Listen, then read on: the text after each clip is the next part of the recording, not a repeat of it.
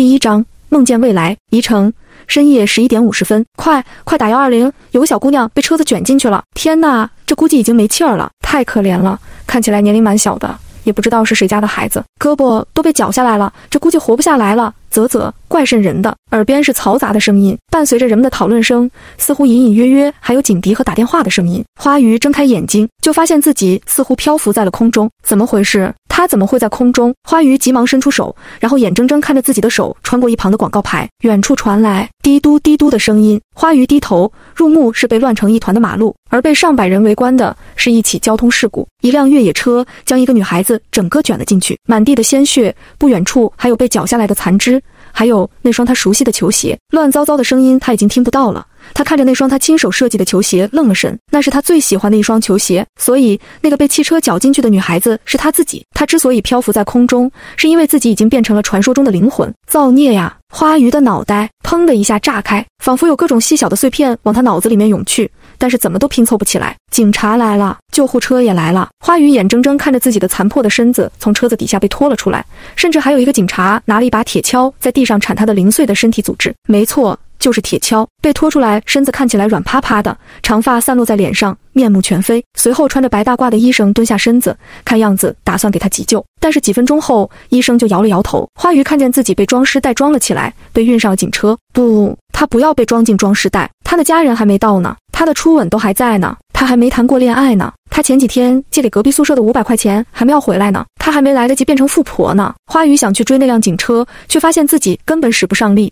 只能漂浮在空中。正当他焦急万分的时候，身后响起猥琐的笑声：“嘿嘿，小姑娘，谁让你不听我的话？现在尝到苦果了吧？”花鱼回头就看见一个面相猥琐、留着长须的小老头，笑嘻嘻地看着他。不知道为何，这个小老头竟然还有点面熟，但是就是想不起来在哪见过。你是谁？你过会儿自然会想起来我是谁。你要记住。我不会骗你，也不屑于骗你。花鱼伸手想拽住他问个清楚，却抓不到。你到底是什么意思？小老头装作高深的摸了一把胡须。何谓天机，又何谓改命？好好珍惜你的机缘吧。老夫去也。说完，不等花鱼反应，就消失在了空中。花鱼一个措手不及，到处寻找小老头的身影。突然有一束光照来，正好照在了他的脸上。一瞬间，他的身子像是定住了一般。花鱼顺着灯光看过去，城市最高的建筑顶楼的液晶屏上，突然出现了一排血红色的时间：二零二四年七月八日零点整。宝贝，起床吃早餐了。门外传来轻轻的敲门声。花鱼的灵魂像是被什么牵扯住，猛地睁开眼。正值夏天，屋里开了冷气。但是枕头却被他的汗水打湿了。叶曼青敲了好几下门，都没听见女儿的声音，忍不住自己开门进来，就看见自己的女儿傻傻地坐在床头，头发都是湿的。宝贝，你晚上没开空调吗？怎么这么热？说完还看了一眼正在吐着冷气的空调，奇怪，这空调分明是开着的呀。顾不上说话，花鱼拿起床头的水杯，咕噜咕噜将里面的凉开水喝下肚子。还好，原来他没有死。原来那只是一个梦。看了一眼站在床头的老妈，花鱼咽了咽口水。妈，几点了？叶曼青将房间的窗帘拉开。七点多了，准备准备吃早餐吧。今天是你的生日，你忘啦？生日。花鱼一把捞过枕头边的手机，看了一眼上面的日期，二零二三年七月七日。见女儿心不在焉的，叶曼青说了句在餐厅等他，就出了房间。而花鱼此刻的内心已经掀起了惊涛骇浪。梦中他看到的那个时间是一年后的明天，那么车祸的发生的时间就是一年后的今天的晚上。那个梦是什么意思？他会在下一个生日那天出车祸死掉？不会的，不可能的。大不了他那天不出门。梦里那个猥琐的小老头到底是谁？为什么似曾相识？花鱼觉得整个人都在冒冷汗，连头皮都开始发麻起来。搓了搓手臂上面立起来的鸡皮疙瘩，花鱼强迫自己冷静。虽然作为一个接受过现代教育的大学生，理智上他觉得不应该相信一个梦境，但是他第六感觉得梦中的事情会发生，可能不是车祸，也会是别的。这是什么？现实版死神来了啊！呸呸呸！富强、民主、文明、和谐。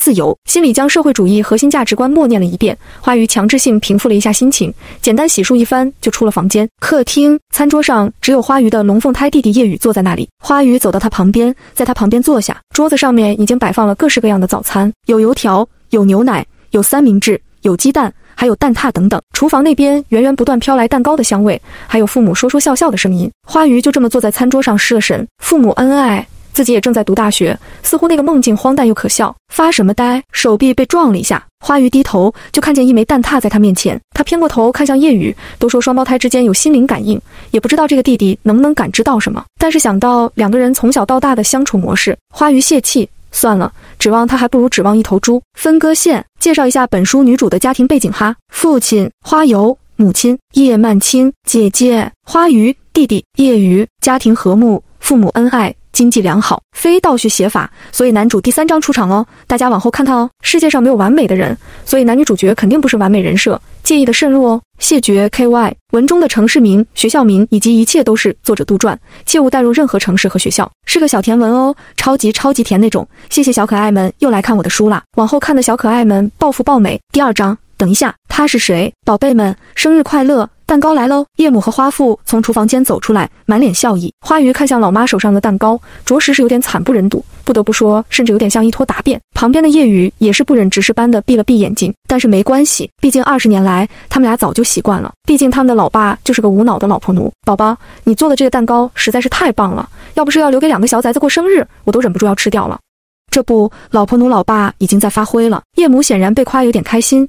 捶了一下花父，你可别贪嘴，这是我特意给姐弟俩做的。花鱼与夜雨，其实倒也不必这么特意。叶母说完，就笑眯眯地看向姐弟二人，小花、小叶，你们要不要尝尝看？妈妈保证今天的蛋糕绝对好吃。花鱼看向那坨。哦不，看向那块蛋糕，虽然内心很不想，但是脸上还是露出期待的表情。谢谢妈妈，妈妈辛苦了。叶曼青见女儿喜欢，愈发欣喜，连忙拿过小盘子，切了一块蛋糕下来。一晃你们都这么大了，我还记得生你们的那天，正好是早上七点钟，那天还有彩虹呢。将盘子推到女儿面前，叶曼青伸手打算拿儿子面前的小盘子，却不料被叶雨抢先拉了回去。我就不吃了，我不爱吃甜食。叶曼青翻了一个白眼，不吃拉倒。儿子就是糟心。叶雨抿了抿嘴巴，没吭声。于是全家人的注意力都放在了花鱼身上。花鱼被三双眼睛盯着，非常英勇的一勺子下去，然后塞入嘴巴。还别说，这蛋糕虽然看起来不咋样，吃起来的倒是还不错。于是花鱼毫不吝啬夸了一番，还不忘竖起大拇指。吃早餐的时候，花父和叶母不断说着姐弟俩的趣事。反观花鱼和叶雨。两个人一声不吭，默默吃着手中的三明治。叶雨本身就不怎么爱说话，这个表现不奇怪。但是女儿今天怎么如此反常？花父看向花鱼，忍不住开口：“心肝，你怎么了？今天不开心吗？你有什么想要的礼物没有？跟爸爸说，爸爸一定满足你。”花鱼抬头看向老爹，欲言又止，很想把自己昨晚的梦境告诉他们，但是又觉得很荒唐，毕竟那只是一个梦啊。没事。我只是在想我的期末考试成绩。花府摆摆手，那有什么好操心的？你只要健康快乐就好。考试考得不好有什么关系？爸爸养你一辈子。花语点了点头，心不在焉地继续啃着三明治。从小到大，花父和叶母对他们姐弟俩的要求就是健康快乐，做个善良的人。至于别的孩子卷什么学习成绩什么的，他俩从没经历过。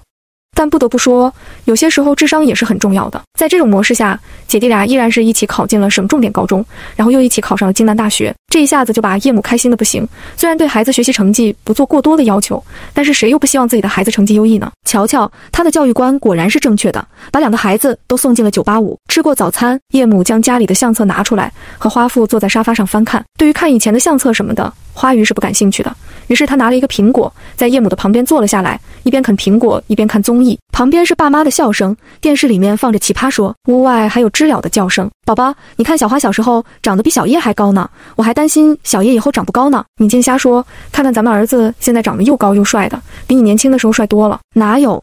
我年轻的时候如果不帅，你怎么会看上我？姐弟俩对于两个人的打情骂俏显然已经习以为常。花鱼偏过头看了一眼相册，本来只是随意的那么一瞥，下一个瞬间。他就顿住了，那是一张已经泛黄的照片。照片的背景是一个寺庙，一个穿着浅灰色衣服的中年男人坐在中间，左右两边分别站了两个五六岁的孩子。花鱼的心不受控制的砰砰砰跳了起来。这个照片上的中年男人，如果加上长胡须，那不就是昨天梦里的那个猥琐小老头吗？叶母显然已经看完了这一页，正准备翻页的时候，花鱼一个机灵从沙发上跳起来，伸出手按住那一页。等一下。声音之大，将打情骂俏的两个人吓了一跳，就连在另外低头玩手机的叶雨也看了过来。花父夸张地拍着胸口：“心肝，你干啥呢？得亏你爹我没心脏病，不然非要被你吓死不可。”花鱼现在可没什么心思欣赏他爹的演技，将手中的苹果放在一边。花鱼指着那个照片上的中年男人：“他是谁？这张照片在哪拍的？”叶母顺着他的视线看过去，然后脸色微变：“这个不过就是个江湖骗子罢了。问他做什么？妈。”这个人是谁？在哪里可以找到他？叶曼青爷女儿难得这么严肃认真，心里也有些打鼓。宝贝，怎么了？花鱼在一边的沙发凳上坐了下来，他觉得似乎有些东西并不止梦境这么简单。看着父母和叶雨，他还是开口将昨天的梦境说了出来。叶母听完，立马吓得大哭了起来，一边哭一边自责：“都怪我。”都怪我，我一直想着那个人是江湖骗子，所以我也没有在意，都怪我。花父听得云里雾里的。压根不知道具体情况，一边手足无措地帮媳妇擦眼泪，一边心里又急。宝宝，到底是什么情况？你快说啊！叶母平复了一下情绪，才给大家说明情况。当初花鱼和叶雨生小学的那个暑假，叶母带着两个孩子去庙里拜佛，本来就是普通的寺庙之行，没想到准备回家的时候，遇到一个号称玄学大师的中年男人。第三章季书韵。这叶曼青本来也是个不迷信的人。但不知道为何那天就鬼使神差的带着姐弟俩上去了。结果那个玄学大师先是看了看叶雨，看得连连点头，不错不错，是个好命，将来一定会飞黄腾达。叶曼青一听，高兴坏了，连忙将花鱼推上前。那我女儿呢？本以为最起码是个大富大贵的命，却没想到那个人一见到花鱼，眉头都皱了起来，还不断摇头。叶曼青顿时就急眼了，大师。我女儿怎么样？只见那位大师看向花鱼的眼神中充满了不忍和悲悯，缓缓开口：“你女儿的命格完全被压制，可能遭遇大祸。”这还得了？叶曼青吓得脸色都白了，刚想问什么的时候，那位玄学大师却话锋一转，而且露出有点猥琐的笑容。虽然说这个命格有祸，但是我倒是可以破解。只需要在他二十岁那年找一位丁丑年丁未月庚戌日的男子与他结姻，那就可以免此灾难。叶曼青瞧着这个所谓的玄学大师猥琐的笑容，总觉得心里有点不对劲。怎么看怎么都觉得对面这个人像是传闻中的怪叔叔。二十岁那会儿还在读书呢，但是为了女儿的安危，他忍住心中的不快。有别的破解的办法吗？没有。叶曼青将信将疑，大概对方也觉得他不会相信，非要拉着两个小孩拍了张照片。临走前还告诉叶曼青，总有一天这张照片会有用。这事儿到这边还没完，毕竟关乎到女儿的安危。叶曼青回家后就带着花鱼的生辰八字，走访了好多个得道高僧，甚至还找当地有名的仙人算了一卦，最后结果都是说花鱼此生是大富大贵的命，根本没什么灾难。这下他放心了，随后又开始大骂那个什么所谓的玄学大师，只不过是一个江湖骗子罢了。他后来还去那个寺庙，准备和那个大师对峙，却不料当他第二次去的时候，那个寺庙的主持看着他手中的照片，说根本就没这个人。这下叶曼青更是将心放回了肚子，知道那个人是江湖骗子后，他反而心安了起来。他的女儿没事就好。当叶曼青将来龙去脉说完，整个客厅都陷入了沉默。花父的思绪已经乱了，这个事情仿佛是个晴天霹雳。叶雨也是眉头紧皱。不知道在想些什么，而花雨反而想到了别的。按照老妈的说法，那么他还有一年时间去找那个丁丑年丁未月庚戌日出生的男人结婚。别说符合这个出生时间的人，可能压根就遇不到。就算遇到了，万一对方压根不愿意跟你结婚，又或者对方瘸着腿瞎着眼，那他自己真的要嫁吗？不嫁死，嫁那就是用一生去赌。我不信这些，我女儿不可能是这个命格。我明天就去找更厉害的大师。花父从沙发上面站起身，神情显得有些激动。我也不愿意相信。但是女儿她梦到了呀，花父生怕女儿瞎想，拍了拍花鱼的手背，心肝，你别怕，爸爸明天就帮你去征婚，一会儿我就去充征婚网站的会员。花鱼，您刚刚不是才说不信这些吗？两位大外甥，舅舅来迟了呀。今天路上太堵了，就在一家人现在忧愁的情绪里面的时候，门口响起老舅的声音。循声看过去，就见自家老舅提着茅台，还提溜着两个礼物盒，正笑容满面的走进来。叶光伟刚踏进客厅，就见一家四口愁眉苦脸的将东西放在茶桌上，看看这个，看看那个，这是咋了？叶曼青见到和自己从小一起长大的哥哥，眼泪又流了出来。哥，我们家小花恐怕是要出事了呀！在听自家妹妹将事情说完后，叶光伟本来就小的眼睛也是眯了起来。良久，嘶了一声，丁丑年丁未月庚戌日出生的男生，我倒还真认识一个。花父与叶母齐齐抬头，真的在哪？叶光伟在手机里面翻啊翻的，一拍大腿，找到了，就是这个孩子。这个孩子妈妈生他的时候大出血，是我捐的血，因为他妈妈血型和我一样特殊，所以我一直记得。听他这么说，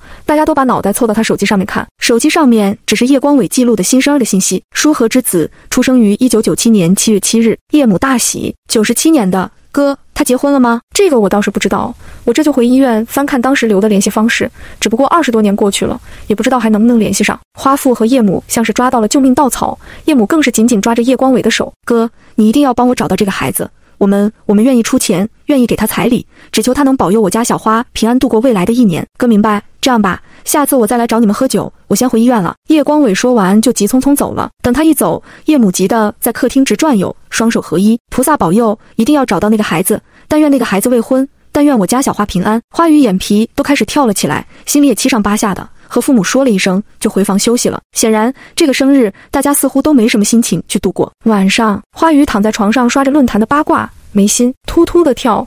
总觉得有什么事情要发生。下一秒，微信传来提示音：“老舅幺三七 x x x x 幺二八九季书韵，这是那个孩子的名字和电话。四金和他父母商量好了，你们联系一下。”花鱼心下一紧：“花花大舅，他是未婚吧？他可不能做破坏人家婚姻的第三者呀。老舅，放心吧，都问好了，莫婚。老舅，加油，大畜生。花花，大舅，要不你学一下拼音吧，这样打字比较准确。老舅，妈的，大畜生。花鱼，第四章。角色呀，花鱼盯着聊天界面上面的那个电话号码，内心在反复横跳。九十七年的，比自己大了好几岁。要不先加个微信，添加好友，将手机号码输进去，然后提示该用户不存在。花鱼有一点泄气，刚才鼓起的勇气不知怎么就没了。不行，这可不是一般的相亲对象，可是关乎到他生命的男人。既然微信行不通。那就发短信，先是将他的号码存在了电话本。花鱼顺便还改了个备注：季书韵。花鱼，你好，季先生，我是花鱼，不知道我舅舅有没有将我的情况跟您说明？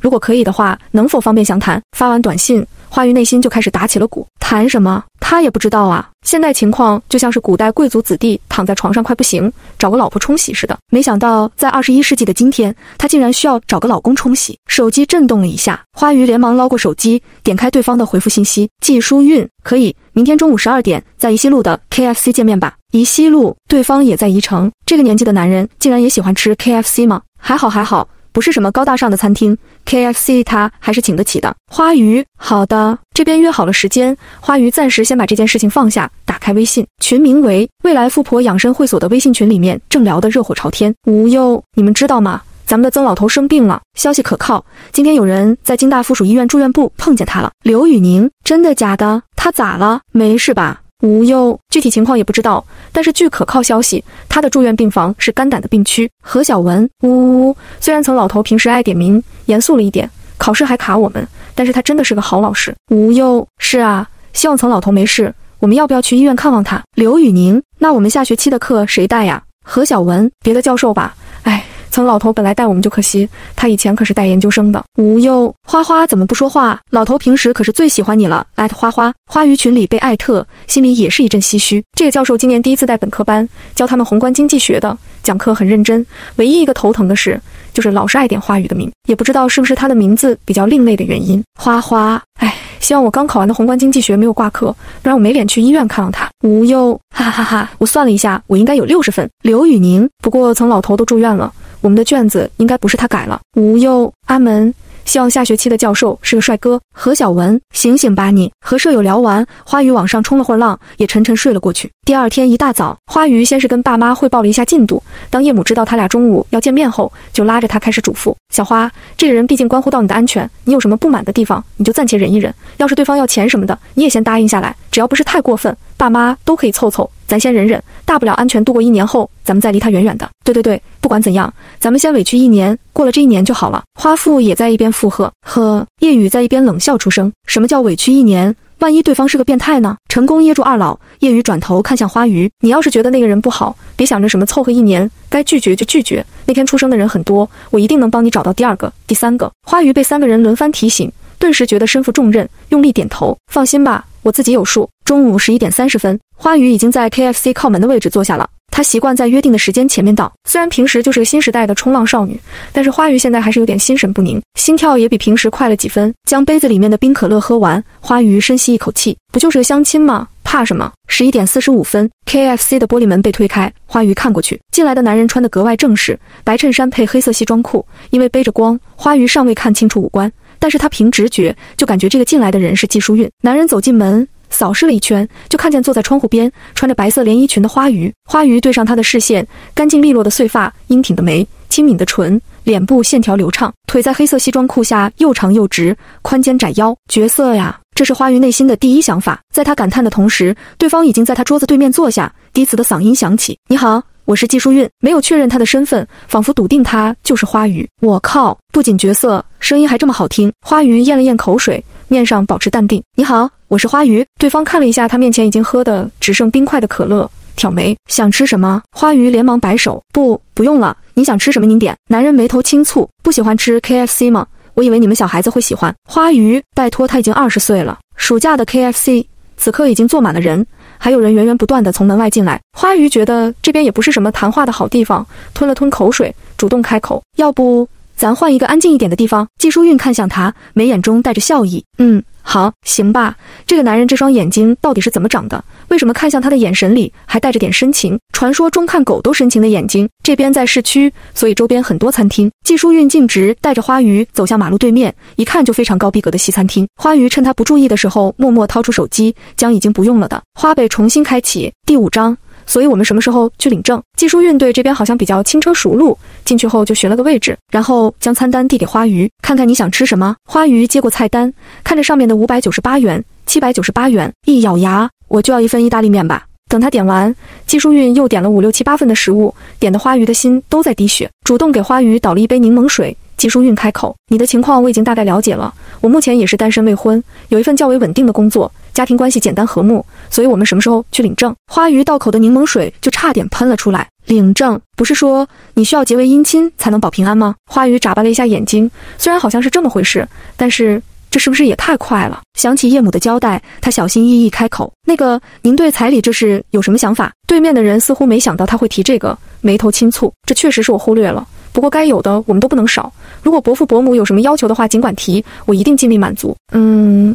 好像事情有点偏离轨道，花鱼一时间感觉这事情突然就像是脱轨的火车，向着他没想到的方向奔驰而去。他以为今天是需要和对方谈判一下的，毕竟对方可是牺牲了自己人生大事来帮他保命，怎么突然就还要满足他的要求了？他的要求就只是保命啊，他哪里配提什么要求？季先生，非常感谢您愿意帮助我，您放心，这一年我绝对不会麻烦您。等到我二十一岁的生日一过，我们可以立马离婚。花鱼发现他说完这句话。对方就诡异的沉默了，难道是他说错什么话了？担心这个角色保命符飞走，花鱼连忙补充：“那个，或者您定个协议啥的。”正巧这个时候有食物被端上来，花鱼很狗腿的将食物放在季淑玉面前：“先结婚。”以后的事情以后再说。保命符说啥就是啥。花鱼连忙点头，随即又想到什么：“季先生，我下半年才上大三，所以结婚后我还是住在宿舍，咱们可以相敬如宾。虽然这个冲喜的老公是个角色，但是花鱼还是不想失身，有些事情还是一早沟通好比较好。”季淑韵已经在切牛排了，听完他的话，认同般点头：“嗯。”好，现在确实太小了。这话听起来怎么有些奇怪，但是又说不出哪里奇怪。好歹不要尽什么夫妻义务。花鱼松了一口气。那您什么时候方便？季淑韵将切好的牛排推在他的面前。明天吧。花鱼，好。一顿饭吃完，花鱼正准备用花呗付钱的时候，被告知钱已经从会员充值卡里面扣掉了。他偏过头看向旁边的季淑韵，下次我一定请您吃饭。好。对方的眉眼上扬，好笑的看着他。明天早上八点，我去你家楼下接你。你带上户口本和身份证。花鱼已经被他明天就要结婚这个事情刺激的麻木了，很茫然地点点头，知道了，加一下微信吧。好的，两个人将微信添加完，花鱼就跟他告别，准备回家。他觉得他还需要一点点时间来消化一下这件事情。走吧，我车子停在不远处，我送你回去。季淑韵已经迈开长腿，我自己打车就好。季淑韵回头，声音既低磁又有轻笑在里面。我不送你回家，明天去哪里接你？太阳下，花鱼眯着眼睛，仰着头看着他。只觉得他看向他的眼神里面全是笑意，一定是今天的太阳太大，把他的脑子都晒得不清醒了。花父和叶母今天午饭都没心思做，满脑子都在担心女儿的见面事宜。老花，你说对方会是什么样的人啊？会不会欺负我们小花呀？花父也是不停的在家里踱步，不会的，咱们别瞎想，一会儿就打个电话问问。我刚才发微信他也没回，但是我看他微信步数在增加，可能一直在外面走路。花父点头，放心，现在是法治社会。安了，叶雨今天也是反常的，没有待在自己的房间，坐在客厅陪着父母一起等。眼看着已经到了下午一点多，他起身，我去楼下等他。刚想下去，就听到了开门的声音。三个人齐齐看过去，就看见花鱼和一个长得像男明星的男人站在门口。叶雨愣了一下，花鱼有些尴尬。人家都说了，这都到楼下了，明天就要结婚了，不上来见一下父母，确实不太礼貌。清了清嗓子，花鱼干巴巴向屋内三个人介绍：爸妈，这个就是季淑韵，伯父伯母，你们好。我是季淑韵，叶曼青好半晌才回过神来。她一直觉得最帅的男生是他儿子，没想到还有比他儿子更帅的。叶曼青心里一顿狂喜，至少女儿这个名义上的婚姻不用嫁一个跛子或者丑男。你好，你好，外面天热，快进来坐吧。叶曼青一把将门拉开，花府现在也回过神来了，想学人家递一支香烟过去，摸了半天口袋才反应过来自己不抽烟，根本就没有香烟，尴尬的挠了挠头。花父将沙发上面的抱枕收拾了一下，季先生随便坐，伯父不用这么客气。喊我舒韵就好。主要是这个冲喜女婿超过心理预期太多了，一时间叶曼青笑意盖都盖不住。她就知道她家小花长这么好看，肯定老公也不会差哪里去。将花父打发去厨房切西瓜，叶曼青笑眯眯的在季淑韵对面的沙发上坐下。叶母，淑韵，我们家的情况想必你也了解了，你愿意帮助我们小花，我们真是感激不尽。季淑韵，应该的伯母。叶母，不知道你现在在哪边工作呢？季淑韵，我刚刚博士毕业，目前因为私人原因需要帮导师代课，后续的话我应该会在家里的公司管理。第六章，能出生在那一天是我的荣幸。叶母，你家是开公司的？季书韵，家里主要是开酒店的，还有一些别的副业。叶母心里一喜，看样子家庭条件还不错。叶母，你长得好看，学历又高，怎么会现在还没谈女朋友呢？万一这个人长得帅，但是个花花公子就不妙了。花鱼坐在一边吃葡萄，闻言用手肘捅了一下自己老妈。您是不是忘记他只是给您女儿冲洗的？问这么多干嘛？叶母被花鱼的眼神一提醒，顿时也回过神来。是啊，管他是不是花花公子，能保女儿安危就好。季淑韵仿佛没觉得这个问题有什么不好回答的，笑着解释：这些年一边学习的同时，一边还要学家里酒店的管理，再说也没遇上合适的女孩子，就一直耽搁了下来。叶曼青对这个回答很是舒服。那你家里知道你和我们小花这事吗？知道，父母非常开明，也非常赞成。叶曼青，那你们有没有要求之类的？你放心，阿姨一定尽力满足。季淑韵仿佛想到了什么，嘴角弯起，没有，能出生在那一天。是我的荣幸。哎呀妈耶，平时面对的都是叶雨的臭脸，叶曼青哪里会经得住季淑韵这种糖衣炮弹？这一下子嘴角都咧耳后跟了。看季淑韵的神情是怎么看怎么满意。叶雨见自家老妈这么把不住，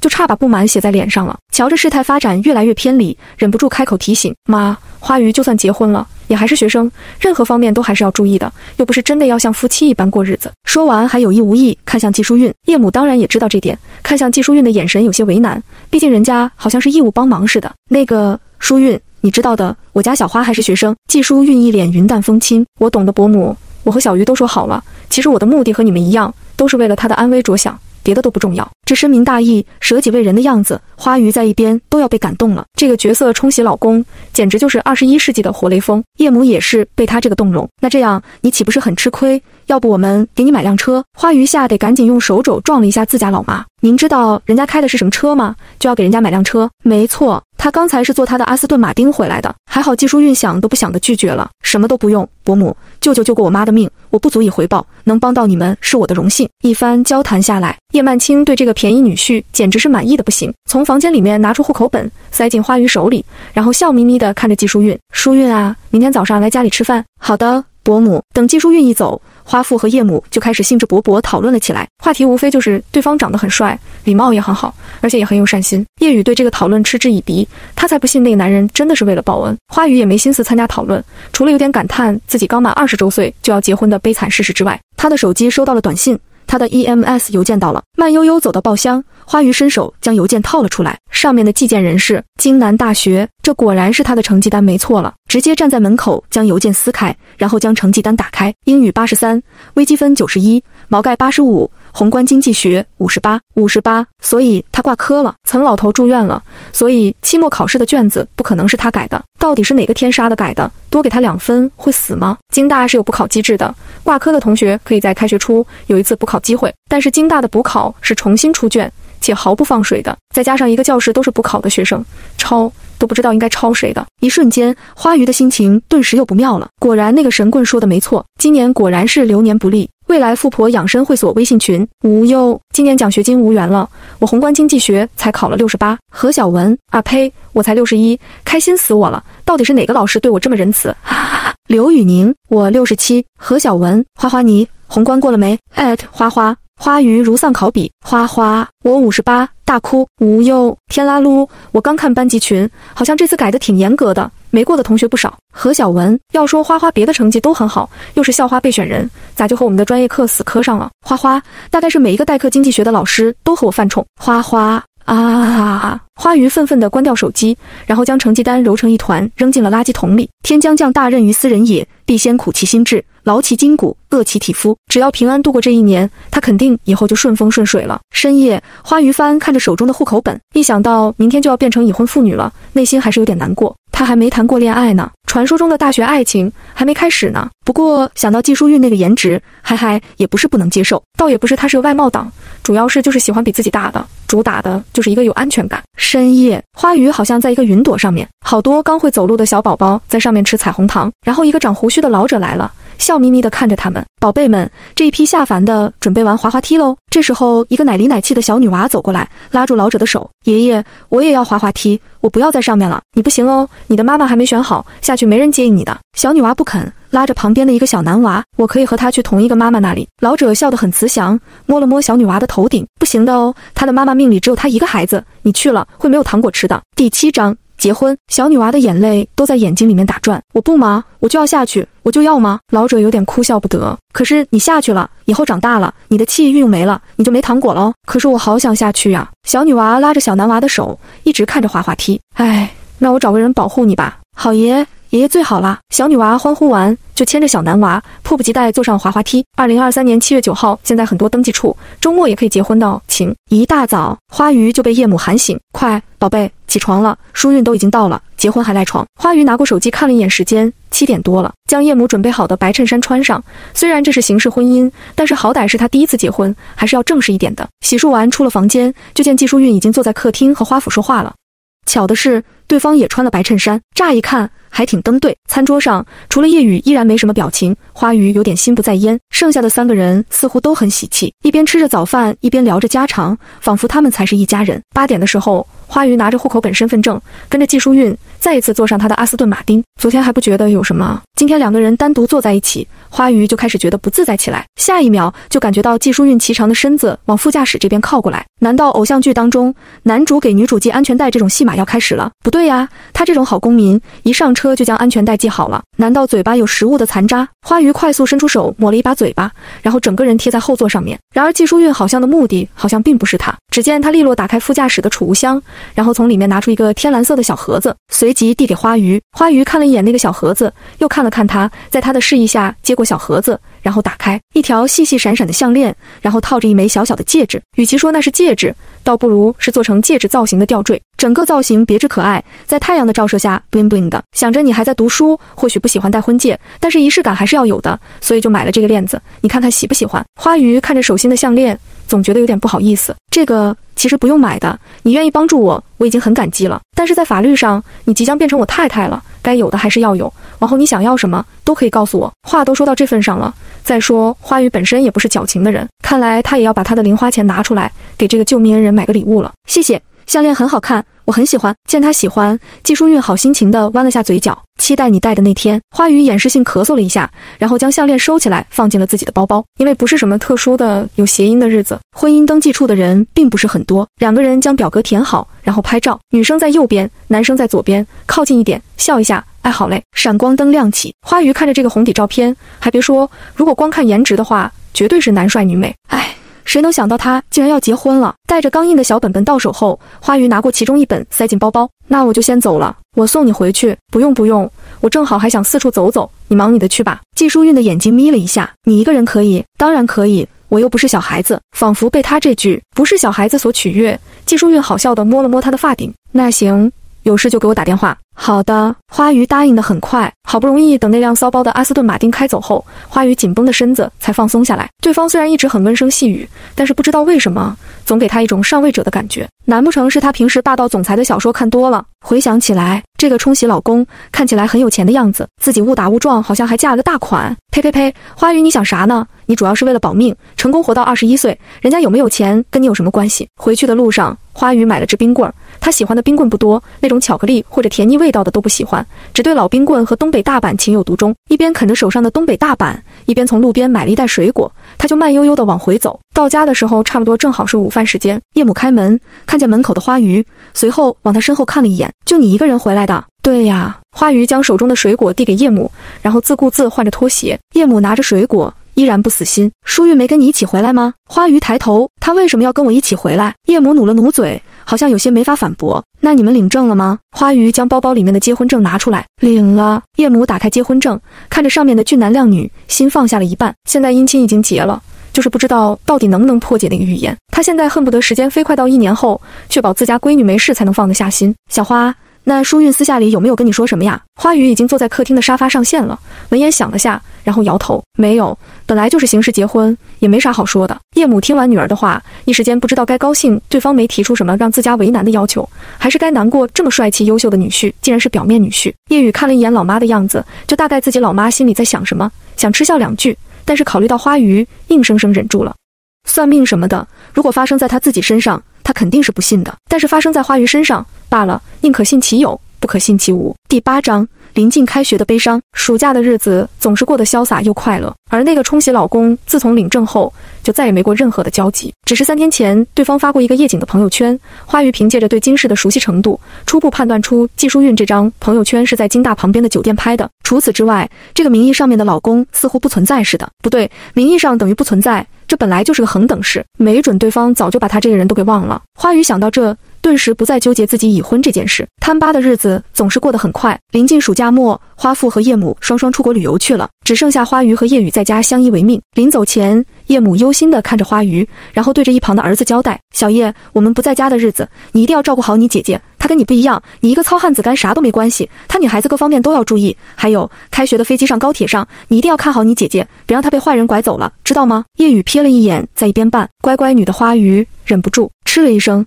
并未回应叶母的话，而是用手肘撞了一下花鱼。你看，连你老妈都觉得你是白痴。花鱼转头对他怒目而视，要不是父母在一旁看着，他绝对今天就让叶雨感受一把什么叫做姐姐的血脉压制。拳头握了又松，花鱼面上依依不舍。妈，你走后，我一定会照顾好自己的，也会照顾好叶雨的。叶母一阵心疼，她的乖女儿命运多舛。还这么乖，乖乖。要是钱不够，就跟妈妈说，在家别做重活，有什么家务就让小叶去做，知道吗？花鱼乖乖点头。旁边的叶雨忍无可忍，你要是这么不放心你女儿，不如别出去旅游了。叶母吸了吸鼻子，看向自家儿子，要你干什么吃的？照顾好你姐姐，我走了。说完就拖着行李箱头也不回的跑了，生怕再晚一步就被儿子拦下来。等车子开远，花鱼看着旁边的叶雨，这半个月。你做饭洗碗不可能，我做饭很难吃的。你做的好吃，你不做饭的话，我就饿肚子了。谁管你？反正你做饭洗碗，我拖地。就这么决定了。单方面说完决定，花鱼就大步走回自己房间。快开学了，他的宏观经济学快要不考了。可是他现在翻开那本书，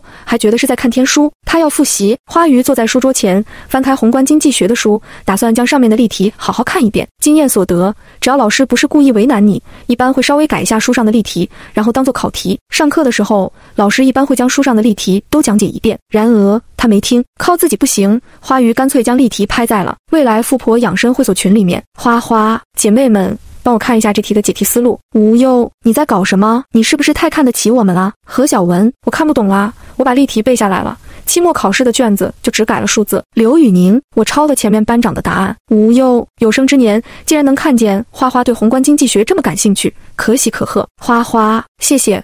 有你们真是我的福气。呜呜呜，他怎么没这个运气？为什么坐在班长后面的不是他？将微信关掉，因教科书上被自己画了各种小人。花鱼拿笔将题目抄下来，登录宏微观经济学论坛，将题目发在里面，并配文：救救孩子吧！马上开学要补考了，这是书上的例题，求解题思路。发完帖子，肚子就开始咕咕叫了起来。六点了，好饿。摸了摸肚子，花鱼打算点外卖，正打开美团，想到夜雨还没吃，他索性站起身。准备问问他要吃什么，一起点。刚打开房门，就闻到了食物的香味。花鱼穿着拖鞋下楼，就看见叶雨围着围裙在厨房里面忙碌。拉开厨房的门，花鱼伸进去半个脑袋，需要我帮忙吗？叶雨抽空回头看了他一眼，出去，别进来捣乱，行吧？花鱼很自觉地回到了餐厅等着。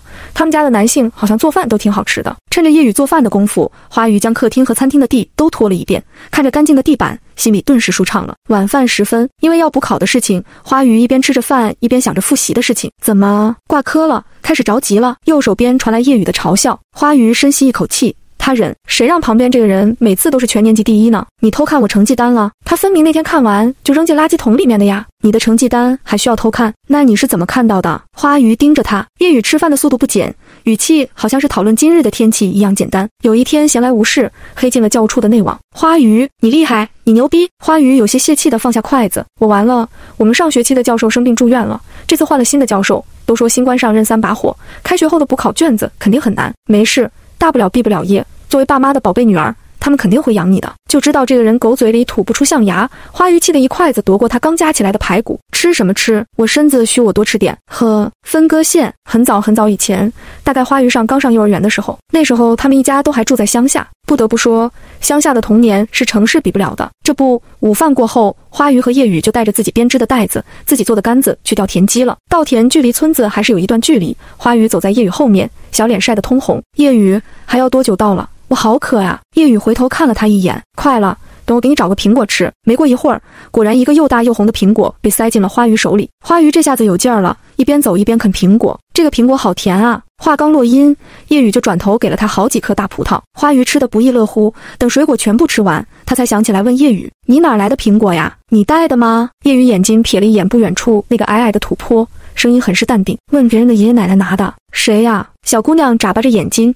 看着弟弟，就是别人的爷爷奶奶，他们肯定会喜欢你的，所以你放心吃吧。花鱼不疑有他，果然还是弟弟有办法。这种对弟弟的崇拜，一直到花鱼上大班的时候，他亲眼看见叶母将果盘放在了他祖奶奶的坟头上。天杀的夜雨，第九章。论坛的大神将肚子填饱，花鱼本来打算洗碗，但被叶雨以碍手碍脚为由赶出了厨房。不用洗碗的他乐得清闲，又回到了楼上自己的房间，整个人盘在电脑椅上。花鱼打开宏微观经济学论坛，本来也没抱什么希望，但是看到回复的那一瞬间，他直接愣在了那里。只见他的问题下面有一个回复被顶在第一，那个回复不仅把题目的解题思路详细写了下来，还把每个步骤都做了细致的解析。卧槽，大神啊！花鱼将脚从电脑椅上放了下来。端正坐姿，一边对着书本，一边看上面的答案，然后发现自己在对方的解析下，竟然神奇般看懂了。他将答案关上，尝试着自己做那道题目，直到看到自己成功解出题目答案，花鱼整个人都兴奋了起来。没想到他也有攻克经济学的一天。认定了大神后，花鱼重新打开论坛，然后点开对方的主页，用户名风清扬四。咦，看来和自己一样，也是金庸粉啊。主页啥内容也没有，不管。先加个关注，海天论坛关注对方后是可以给对方发私信的。不过在对方未关注你之前，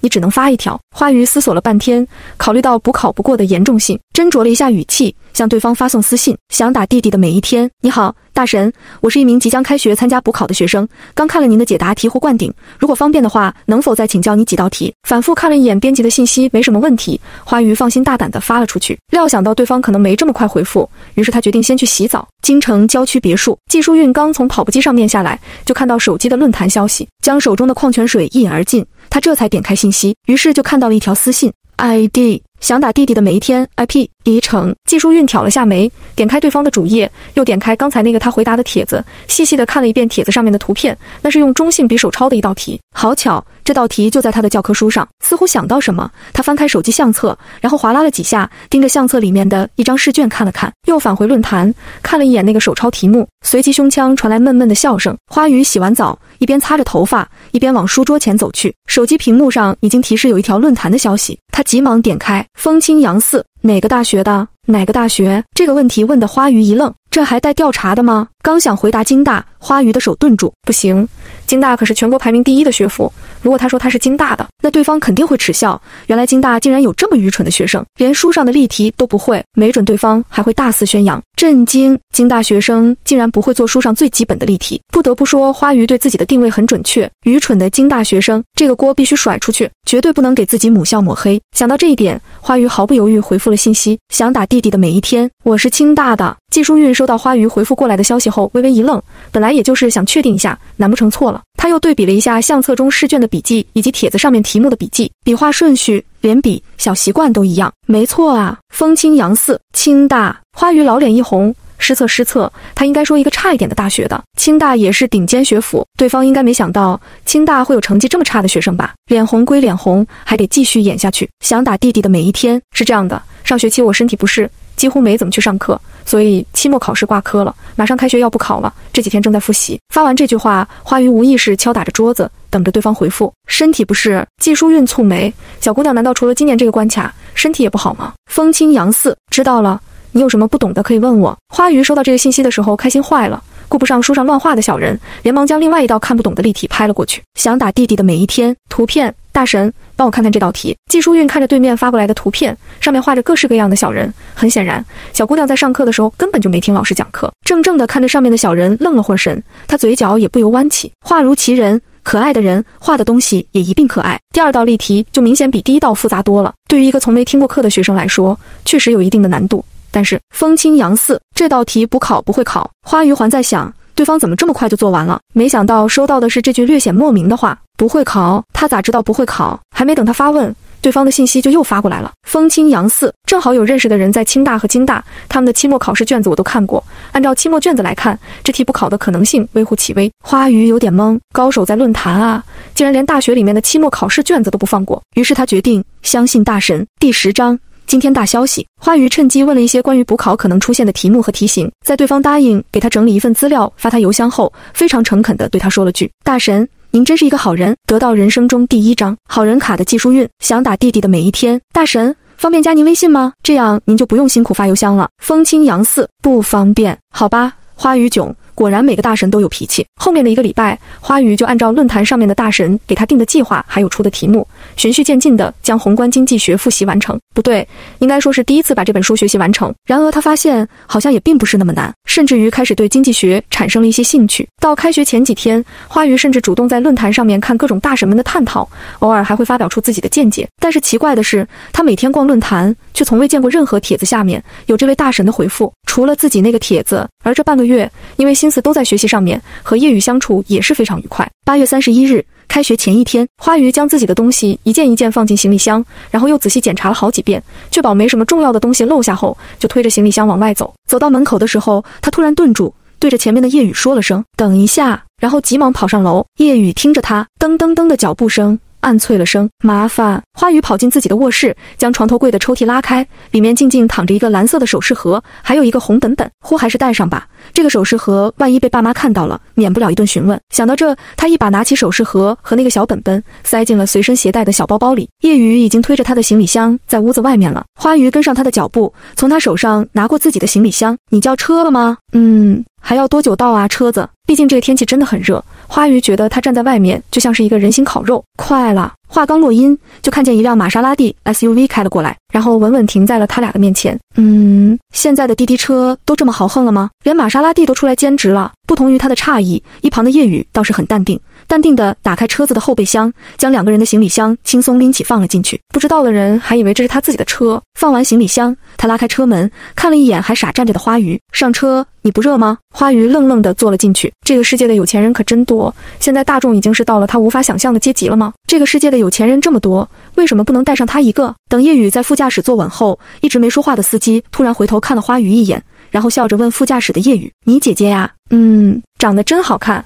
你们家的基因可真好。”还行吧，花鱼这才注意到驾驶位的男人看上去比他也就大个几岁，是叶雨的朋友。虽然好奇，但是他并没有在车上问出来，而是坐在后座刷着朋友圈。刷着刷着，就看见他那个结婚后就没联系过的老公，就在刚不久前发了一条朋友圈：开学了。开学和他有什么关系吗？还是说是指他要开学了？嘿嘿，花鱼呀，花鱼，太过自恋可不好。人生真理，永远不要把自己想的在别人心里有多重要。又往下刷了几条朋友圈，大部分都是在朋友圈哀嚎开学的。还有一部分距离比较远的同学，已经在前两天就到了学校。他家距离机场不是很远，车子行驶了大概二十分钟就到了机场的送客处。将两个人的行李拿下，叶雨对着车主说了句谢了。没等对方说话，就一手一个行李箱往里面走去，这个多少有点没礼貌。于是花鱼在一边连忙补救：“谢谢你送我们过来，回去的路上注意安全。”车主似乎有点诧异，姐弟俩性格的不同，对着花鱼颔首：“小事，那再见。”说完这句，花鱼小跑着跟上叶雨的步伐，留下沈毅在原地看着他的背影笑出声。这姐弟俩真有意思。候机室，花鱼一边吃着东西，一边在宿舍的群里聊天：“无忧，姐妹们，今天大消息，刘宇宁什么什么，你脱单了，记得请吃饭。”何小文，姐妹别想不开呀。男人只会影响我们闯荡江湖的脚步。无忧，不不不，是我们提前到的那些同学，无意间经过老师办公室，看见从老头的办公位上坐了一个特别特别帅的男人，极有可能是我们下学期的老师何小文，可能是从老头带的研究生而已。花花，就算他长得帅，能给我平时分打高一点吗？刘宇宁到底是有多帅？有校草帅吗？无忧，据说堪比吴彦祖那个级别。刘宇宁，切不信。刘宇宁，不过这学期我们应该上微观经济学了吧？到时候看看就知道了。花花，你补考准备的怎么样了？花花，差不多了吧？问题不大，不慌。花鱼对他们说的什么帅为今天的男人没有丝毫的兴趣，能有多帅？难道能比季淑韵还帅吗？虽然，但是不得不承认，他也觉得他生平遇见过最好看的男人就是他名义上这个老公了。宜城距离京市差不多两个多小时的飞行时间，花鱼坐在靠窗的位置，看着窗外的蓝天白云，不知不觉就睡着了。等他再次醒来的时候，飞机已经准备落地，抹了一把自己的下巴，花鱼不放心的又看了一眼叶雨的肩头。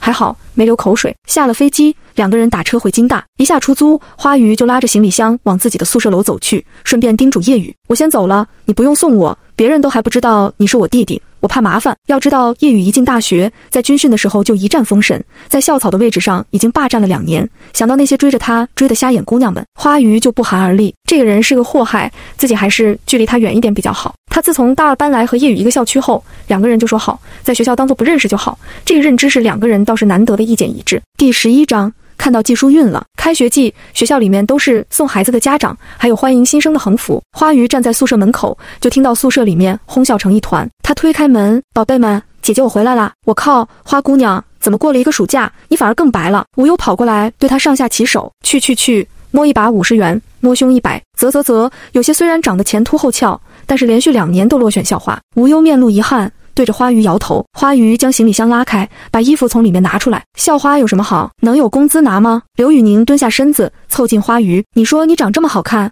怎么每次都落选呢？无忧在一边接话，我知道，我知道，因为他太沙雕了。哈哈哈哈哈哈哈！京大的校花可谓是每年一轮换，没办法，好看的妹子实在是太多了。大家都是十几年寒窗苦读考上来的，所以到了大学就开始丰富自己的生活了，各种社团，各种比赛，各种活动，可谓是百花争艳。而京大的校草，打从叶雨入学后就一直是叶雨，足以想象出叶雨的外貌，可谓是一骑绝尘。花鱼放下手中的活，拨了一下头发，故作高深：“这你们就不懂了吧？所谓好看的皮囊千篇一律，有趣的灵魂万里挑一，姐就是那个有趣的灵魂。是是是，可是啊，那个宋大校花说你根本不是她的对手，还说要在三个月之内拿下我们的校草叶雨。噗，你笑什么？花鱼竖起大拇指，收敛了一下表情，没什么。”我敬他是名勇士，刘宇宁恨铁不成钢。花花，你能不能争气点？你应该在他之前拿下叶大校草，气死他丫的！无忧，就是就是，你上次校花选拔没比过他，在男人这块你可不能输。花鱼差点就脱口而出，叶雨是他弟弟这事。想到和叶雨的约定，又想到他超高的女生缘，硬生生忍住了。反正他和叶雨在学校也碰不到，面对八卦的舍友，他有一些无语问天。算了吧。爱谁要谁要吧，还别说，我总觉得咱们花花和叶大校草有一些夫妻相。花鱼默然，同一个爸妈生的，能不像吗？等最后一名舍友何小文到了后，四个人收拾一番，就准备去学校附近的金氏本地人开的日料店吃饭。四个人的家境都不差，所以对于金氏大大小小的餐厅几乎都吃了个遍。这家店需要拖鞋上榻，四个人刚坐下来，就闻到一股说不清道不明的味道。花鱼甚至低头闻了一下自己的 G.O，还好不是他。不仅是花鱼，其余的三个人都做了相同的动作，很好。不是他们四个咋弄？何小文捂着鼻子，正好在饭点。花鱼扫视了一圈，几乎没什么空桌子了。要不去楼上包厢？无忧建议，包厢最低消费是一千。没事，多的我来。何小文阔气一挥手，然后又连忙捂住鼻子，从位置上站了起来。等他们到了二楼包厢，顿时觉得整个空气都清新了起来。服务员走在前面，你们好，你们的包厢是二百零九，就一直往前走就行了。谢谢。路过旁边二百零八的时候，花鱼随意往纱窗里面看了一眼，这一眼。他就正愣住了，里面那个坐在主位的男人，虽然只有惊鸿一瞥，但是那个清贵疏离的模样，不是季淑韵是谁？他还在京市，联想到他前段时间发的朋友圈，难不成他是常驻京市工作的？花花，你在想什么呢？点菜了。舍友在旁边推了一下他，花鱼才从刚才的事情中回过神来。吃饭途中，他不自觉竖起耳朵，然后依稀听见隔壁滑门被拉开的声音，随后就是人类的脚步声。花鱼心想，这大概就是人类的劣根性，哪怕一个人跟你实际没什么交集，但是一旦以任何形式跟你有了关联。你就会不由自主去关注那个人。九月一号，开学第一天，没有上课，班长将大家的书本都领取了过来。花鱼看着崭新的微观经济学，揉了揉眉心，希望在论坛大神的带领下，他可以学好这门课吧。曾老头住院的事情也在班级里面流传开来，班委决定带上鲜花和水果去看望老教授。此刻的京大附属医院，季淑韵正将苹果切成一块块的放在盘子里面，上面还贴心的戳好了牙签。淑韵啊。老师知道你本来要去管理家族酒店的，这临时让你来接替我的工作，很吃力吧？病床上面的小老头虽然在住院，但是精神头还很足。老师没什么吃力的，只求不辱没您的名声。曾国伟笑道：“这个班级的孩子其实都挺聪明的，上个学期的期末考试卷子你也看到了，大概对整个班级也有一定的了解了。”季书韵手上的动作微顿，嗯，挂科了二十个，二十个。老教授有点诧异，你这是一点水都没放吧？没有。老教授看着他，突然问出声：“那花鱼呢？也挂科了？”从自己的老师口中听到这个名字，季淑韵显得略微有些不自在。嗯。她考了五十八，哈哈哈！不愧是我的学生。老教授笑完还不忘打趣：“你这样子，小姑娘肯定不喜欢的哟。那个小姑娘其实特别聪明，虽然经常不来上课，但是我能看出是个很有智慧的孩子。”想到论坛上面花鱼之前说的，因为身体不好，所以才没怎么上课的话，季书韵趁机问老师：“老师，他是不是上学期身体不适？”曾国伟被问得一脸懵逼：“有吗？没有吧？他不来上课的原因，据说是因为我的课经常是早上第一节，他起不来。听别的老师说，只要不是第一节的课。”他学的都很好。第十二章又遇季书韵，季书韵微微点头，不是身体不适就好。如果是起不来的话，很不巧，这个学期的经济学的课也都在第一节课。曾国伟看着自己这个最得意的学生，也有点无奈。你说你要什么有什么，偏偏就是死心眼。你现在几岁？人家花鱼才几岁？别说你追不追得上，就算你追上了，等他毕业的时候，你都多大了？他还能看得上你这种中年男人吗？季书韵想到小姑娘的模样。表情都变得柔和了起来，将装满苹果的盘子端正放好。他正是自己老师的眼睛。老师，其实今天过来还有个好消息要告诉你。什么好消息？曾国伟拿了一块苹果放在嘴巴里面。我结婚了，嗨嗨可。曾国伟猛地一下被苹果呛到，脸都磕红了。季淑韵连忙站起身，轻拍他的后背，好不容易缓过来气。曾国伟一脸诧异地看着季淑韵，你不是？你不是说喜欢那个小丫头？你这就结婚了，相亲去了？面对老师的三连问，季淑韵回答的不紧不慢，就是和他。你把人家学生拐骗结婚了？老头眼睛都瞪大了，没想到啊，平日里自己这个一本正经的学生，私下里竟然套路这么深。要不是面对的人是自己最喜欢的学生，他都想垂死病中惊坐起，然后骂一声畜生啊！见老师这个反应，季淑韵大概也能猜到对方在想什么，摸了摸鼻子回答：不是，是我给他冲洗去了。冲洗？嗯。因为一些特殊的原因，季淑韵并没有过多的解释。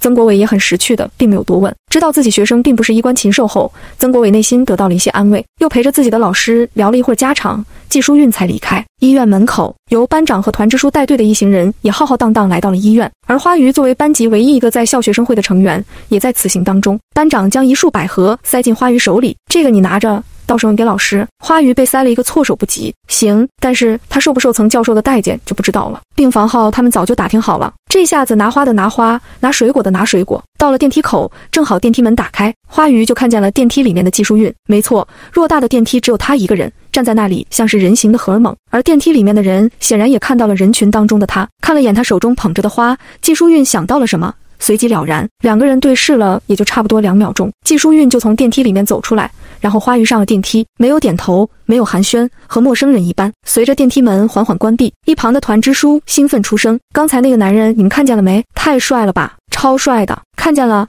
电梯门一打开，我还以为看到了明星，和我们的校草有的一拼。班长看不过去。冷冷出声：“你们是不是忘了这次来医院是干嘛的？”电梯里面瞬间晋升。花鱼回想刚才的那一幕，季淑韵难不成是在这里工作？不对呀，他不是说他家是开酒店的吗？刚才他认出自己没？这么想着，电梯就到了十三楼。花鱼来不及多想，就跟着众人往病房里面走去。曾教授的病房是单人间，哪怕是六七个人一起站在里面，也不显得拥挤。班长先是说了几句场面话，然后推了一下花鱼。花鱼捧着花上前：“曾教授，我们听说您住院了，来看望您，希望您早日康复。”本来吧。这也是一句场面话，但是花鱼就发现这个平时特爱点他名字的小老头今天有点反常，一直笑眯眯地盯着他看，仿佛是对他今天的表现特别满意。看完还说了句：“花鱼呀，在家复习没有？听说你可是要补考的。”花鱼小脸一红，复习了，那就好，那就好。这学期你们换老师了，你可不能再逃课了。花鱼连忙点头，知道了，教授。本以为到这边就结束了，哪知道今天教授也没打算放过他，不断的点他的名。花鱼呀。下次见你就是我出院后了吧，教授，我们还会来看您的。花鱼呀，你现在是大人了，可不能像以前一样小孩子心性了。是花鱼呀，好好读书，以后我给你包个红包。正准备说好的，花鱼被吓了一跳啊，红包！小老头根本没打算给他解释，笑眯眯开口：“好了，你们的心意我收到了，回去好好准备上课吧。明天第一节课可就是经济学。”好的，教授。于是乎，本次的探病之旅全程以曾国伟和花鱼的对话结束。回去的路上。团支书忍不住酸道：“长得好看就是不一样，就算平时逃课，也能得到老师的青睐。其余的同学眼观鼻，鼻观心，大家都没吭声。毕竟今天教授对花鱼的态度确实很不一般。如果能得到曾教授的青睐，那么以后考研的话，毕竟就连他们现在的辅导员也只不过是曾教授的学生。花鱼乃听不出他话里的意思，拿出手机屏幕照了一下。哎，没办法，像我们这种差生，老师自然是比较费心的。哪像你这种优等生，老师压根不用操心。团支书被他堵得一口气不上不下，差点把自己的脸憋红。他做团支书，平时累死累活的。也不过是想得到老师的关注，为入党考研铺路。可有人凭借出色的外表就可以让老师对他印象深刻，这怎么能让他不生气？回到宿舍后，花鱼翻了翻新学期微观经济学的书，打开论坛，尝试给大神发信息，想打弟弟的每一天。大神，这学期我们要学习微观经济学了，您对微观经济学有研究吗？对方的信息回复的很快，风清扬四，略有研究，应该不难。第十三章，我太太会不高兴。想打弟弟的每一天。那如果我有不明白的地方？可以向您请教吗？风清扬四，荣幸之至。花语有点小开心。如果经济学也能跟得上的话，这个学期没准还能拿奖学金。这个学期他一定要早起上课。其实上个学期他也是想早起上课的，但是由于自己的一本漫画被出版社看中出版了，他熬夜改细节，这才导致了早上的课经常起不来。就算勉强起来了去上课，也是昏昏欲睡，在书上画小人。晚上宿舍卧谈会，大家对于明天开学第一堂课还是充满了好奇。你们说？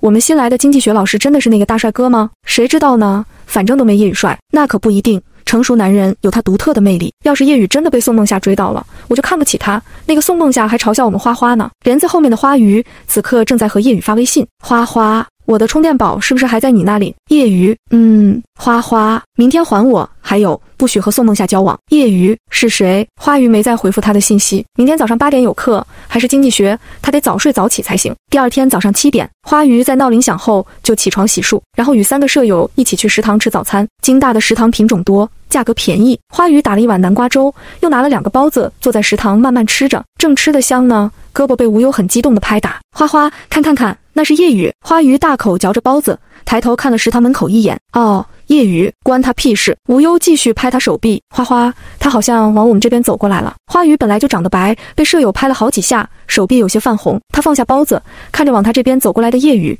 眼里满是嫌弃，也不知道这群小姑娘看上他哪里，分明这么讨厌。还是个扑克脸。等叶雨走到他这边站定，然后从兜里掏出充电宝放在他面前，一句话没说，转头就走了。这个举动已经引起了舍友的注意。三个人看了一下充电宝，又看向花鱼。花花，什么情况？花鱼淡定将充电宝放进书包。啊，开学那天正好路上碰见他，问我借充电宝来着。刘宇宁一脸八卦，有戏啊有戏，不然他为什么不问别人借，而是问你借？肯定是喜欢你。花鱼真的很佩服当代群众的想象能力，将甜甜的南瓜粥喝完。他才回答：“有没有一种可能，他问别人借，别人不借，而我比较善良？”噗噗嗤。七点五十分的时候，花鱼已经来到了教室。他特意选了个靠后的位置坐下，只希望新来的老师出的补考卷子不要那么难。一个暑假没见，同学们聚在一起，都在叽叽喳喳讨论着今天的新老师，还有各自做的美甲，以及家里的狗生了几只狗崽子这种事。叮铃铃铃，上课铃响起。大家不约而同安静下来，然后齐齐看向教室门外。大概过了十几秒，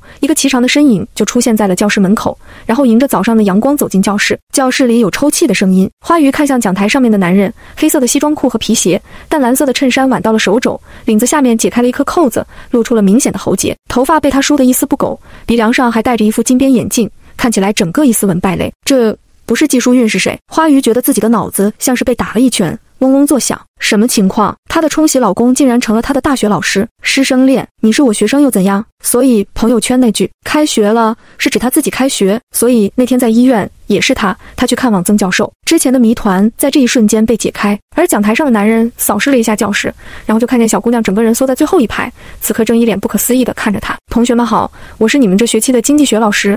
我姓季，低磁的嗓音在讲台上方响起。哇哦！本来安静如鸡的教室瞬间爆发出欢呼声。天哪，这也太帅了吧！我要告诉我妈，我爱上我自己的老师。无忧坐在花鱼的旁边，狠狠捏了一下花鱼的手臂。嘶！花鱼偏过头，你干嘛捏我？我担心这是一场梦。花鱼内心，他倒是希望这是一场梦。第一节课讲的什么，花鱼已经听不到了。区别于别的同学的激动、兴奋，他整个人都在恍惚当中，脑子里面只有一个想法：季书韵是他老师。快下课的时候，讲台上的季书韵突然话题一转：“据我所知，上学期的期末考试卷有不少同学要补考，补考时间是下周二，请各位同学好好复习，做好准备。”不知道是不是自己的错觉，花语总觉得季书韵在说这句话的时候，眼神有意的往他这边的方向看了一眼。教室里有同学哀嚎：“季教授，你长这么帅。”但是为什么要这么残酷？季书韵笑得温文尔雅，好好学习，天天向上。有不懂的可以来问我。有大胆的女孩子直接站起来，季教授，那可以加你微信吗？这样方便问你问题。微信不行，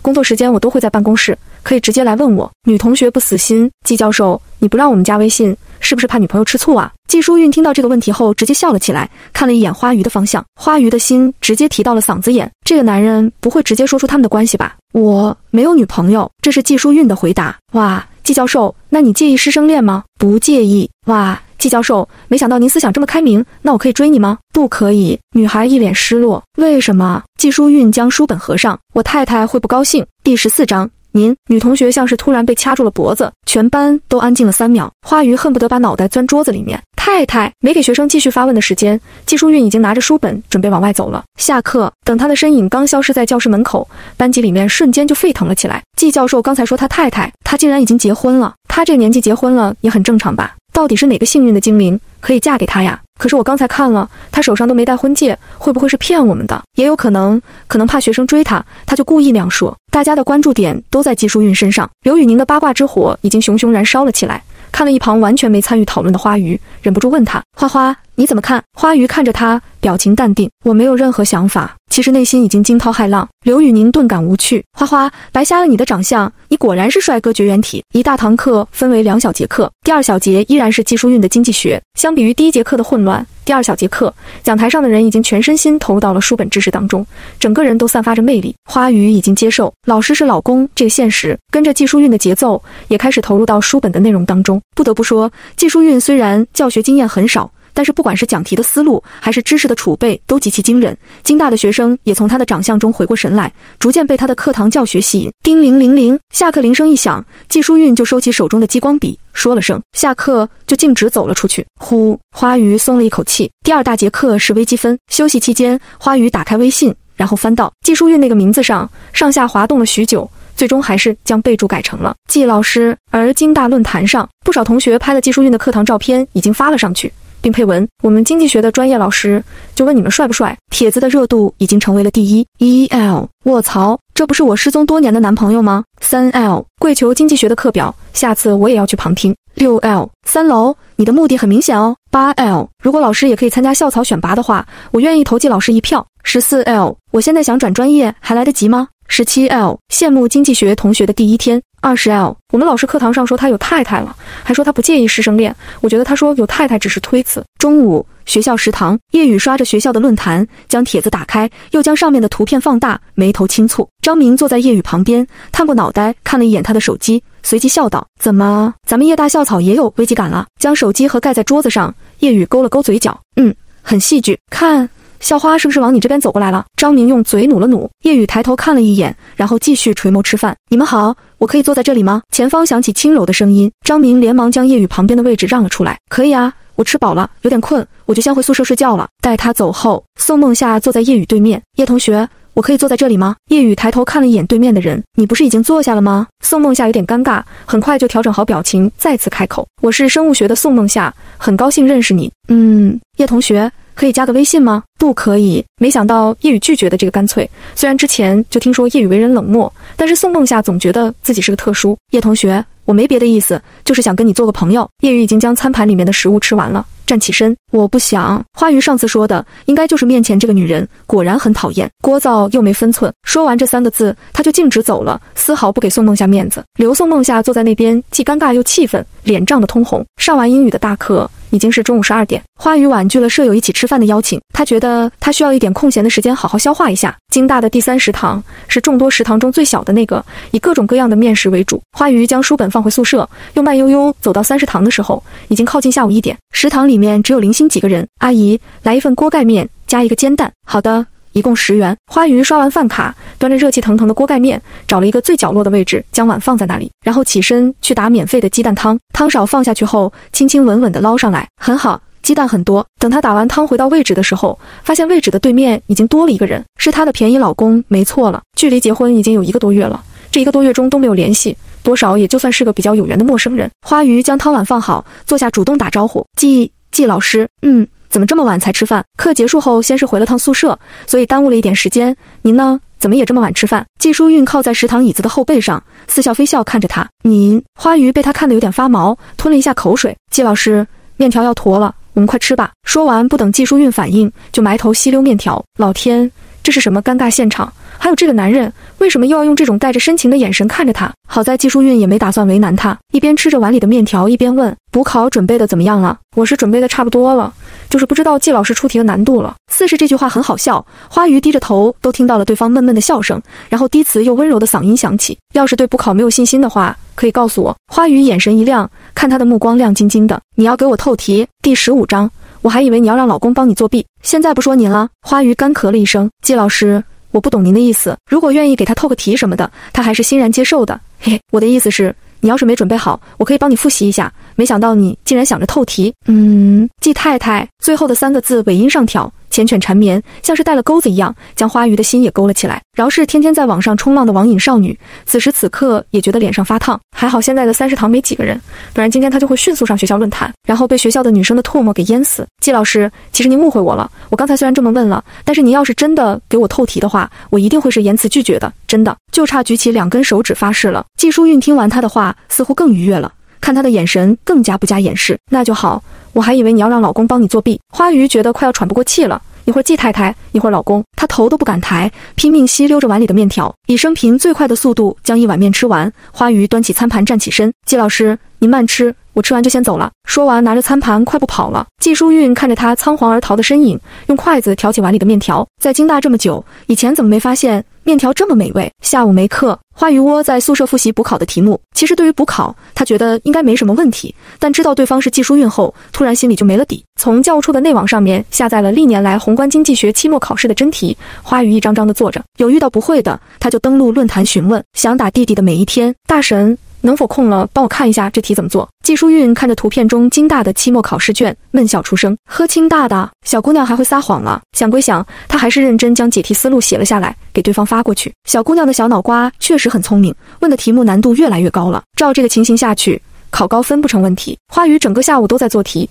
问了论坛大神三个题目。对方都解答很仔细，他觉得有点不好意思，主动开口询问，想打弟弟的每一天。大神你好，谢谢你为我解答，耽误了您不少时间，希望没打扰到你工作。风清扬四，那倒不会，只是我有点好奇，你怎么没想过询问你的专业课老师呢？专业课老师季书韵，那不如杀了他。想打弟弟的每一天，我的专业课老师生病住院了，新来的老师也比较忙，不好打扰。季书韵，风清扬似，知道了。通过这半个月的接触，花鱼觉得这位论坛大神应该是属于那种清心寡欲、沉迷学术的学者。因为对方展现出来的耐心和好脾气，他也逐渐熟络起来。想打弟弟的每一天，大神，不知道您是做哪方面的工作呢？是一名学者吗？风清扬似，算是吧。果然，沉迷于学问的人就是厉害。已经到了晚餐时间，花鱼和论坛大神说了一声后，就匆匆下线，准备去吃晚饭。宿舍的另外三个人，因为下午没课，又不用补考。一下午都没见到人，花鱼将书本收拾了起来，然后独自往食堂走去，一边吃着食堂的饭菜，一边听着学校的八卦。学校论坛上又开始选拔今年的校花校草了。今年的新生有什么长得好看的吗？有啊，但是对比起来，我还是觉得没有上两届的好看。校草应该没有悬念吧？肯定是业余，那不一定。今年论坛不是有一个超级帅气的老师吗？对对对，是经济学的。校花的竞争应该很激烈，毕竟今年的校花校草被选上的话，还可以参加学校的宣传片拍摄，那岂不是一战成名了？就学校的宣传片，哎，想想就激动。花鱼听着隔壁桌和隔壁的隔壁的桌的对话，也是感觉到一点新意。他们学校要拍宣传片了，掏出手机，一只手吃饭，一只手刷论坛。果然，一年一度的校花校草评选大赛已经在论坛开始了。嗯。这也算是每年九月开学的固定活动了。不同于往年的是，今年的选拔大赛还有校学生会的参与和公告，这就带一点官方的味道了。说是校花校草选拔，不如说是选拔学校的宣传片拍摄人员。花语本身就是学生会的，他点开微信学生会内部的群，群设置了免打扰。他忙着复习也没看，大概内容和隔壁桌女生说的差不多。学校要选几个学生参与宣传片的拍摄，要求普通话、身高、外表、英语都达标，有意者可以报名。这个选拔恰好和每年一度的校花校草评选大赛撞到了一起，于是大家干脆将两个选拔合并了起来。而论坛上被置顶的投票链接上，已经出现了好多个人名，其中不乏有一些熟人。花鱼大概看了下。宋梦夏、叶雨都在上面，然后就在稍微靠下的地方看到了他的名字和季淑韵的名字一前一后排在那里。好家伙，现在选拔什么的都不需要自己报名的了，他的名字自带属性就自动报上去了。想到这里，他又看了一眼季淑韵的名字，看来季老师也没逃过被大家自动报名这事儿。校草目前投票最多的是叶雨，校花投票最多的是宋梦夏。花鱼的名字和季淑韵一样。反而比较靠后。好在他对做校花和拍摄宣传片都没什么兴趣，看了一眼就关掉了学校的论坛。这周的后面几天，花鱼除了上课就是备考宏观经济学。周五第一大节课又是技术运的课，花鱼不敢逃课，早早起床去吃早餐。他觉得他以后应该是无缘逃课了，毕竟技术运可能不认识别的同学，但是还能不认识他吗？第十六章，我们三永远不可能三角恋。等他们几人到教室的时候，着实被吓了一跳。教室里乌泱泱的全是人头，从第一排到最后一排，差不多全部坐满了。何小文甚至又退出去看了一眼教室号，嘀咕：“没错呀，这节课是这个教室啊。”花鱼看了一眼教室的人。大多数都是女生，那看来应该都是看技术运的了。这个社会果然是颜值社会呀，连京大的女同学都不能免俗。找了一圈，四个人才找到一排座位坐下。上课铃声响的时候，技术运踩着点进教室，花鱼便听到了身边别的系的同学的讨论声。讲桌上的技术运似乎也被这个人满为患的教室给吓了一跳，不过他没表现出来，而是拿出手中的花名册。上课了，我们先点一下名：周博文到，花鱼到。好了，点名结束。下面开始上课，季淑韵将点名册收了起来。花鱼觉得他好像被针对了，女生的第六感告诉他，季淑韵应该只是想点他一个人的名字，不好表现得太刻意，所以点了个人铺垫了一下。刘宇宁将脑袋凑到花鱼侧面，花花，为什么每一个经济学的老师都喜欢点你的名？花鱼无奈摊手，谁知道呢？可能是我名字比较特别吧。不得不说，上课中的季淑韵是严谨认真的，配上他上课就会戴的眼镜。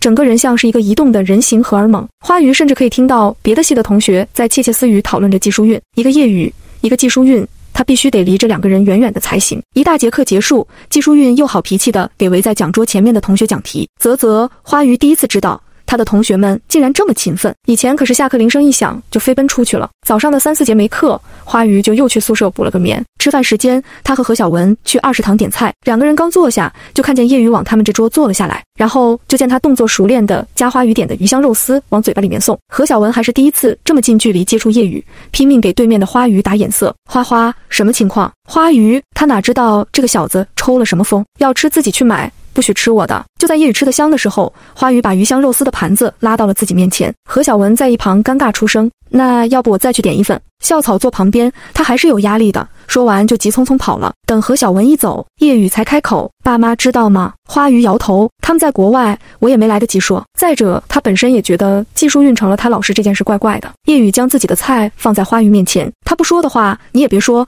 反正一年后你俩就要离婚。”太多人知道了不好。花鱼点点头，他虽然不怎么在乎别人的眼光，但是也不想成为别人茶余饭后的谈资。何小文很快就回来了，除了鱼香肉丝外，还拿回来了糖醋小排、粉蒸肉。然后人坐在花鱼的旁边，却将饭菜推到对面叶雨面前。叶校草，你多吃点，谢谢。何小文一会儿看看这个，一会儿看看那个。总觉得两个人之间有非同寻常的关系。可叶校草，你和我们花花认识？叶雨抬头看了一眼花鱼，嗯，认识。这下子何小文就激动了，有戏呀！叶大校草这是要追他们花花的节奏啊！只不过还没等他问出口，就见到一抹身影坐到了叶雨的旁边。三个人同时望过去，哦豁，是季教授啊！何小文第一个反应过来，季老师你也来吃饭啊？季书韵炒了三个菜，加上他们之前的，就看见他们的桌子上满满当当放满了一整个桌子。嗯。这个食堂的饭菜很不错。在他说完这句话后，空气就莫名的凝固了下来。何小文用手肘顶了一下花鱼，咋回事？怎么看见老师都不带打招呼的？花鱼心里叹息了一声，只能抬头微笑。季老师好。叶雨是别的专业的，尤其是心里现在正拧巴着呢，但是没办法，也是不情不愿打了声招呼。小餐桌的气氛无比的诡异，何小文总觉得他误闯了什么不得了的地方。难不成季老师也想追他们花花？这。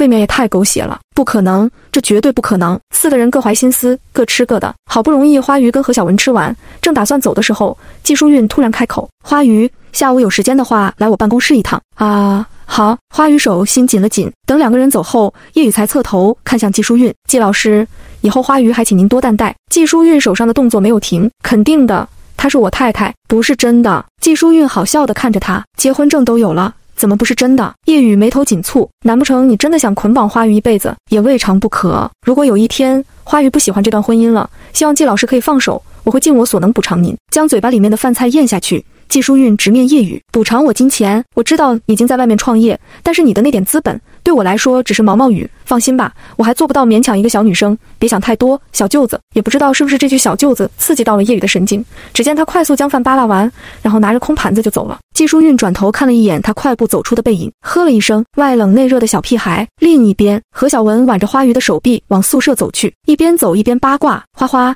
你和叶雨还有季老师，你们是不是三角恋？”花鱼被他的话雷得不行。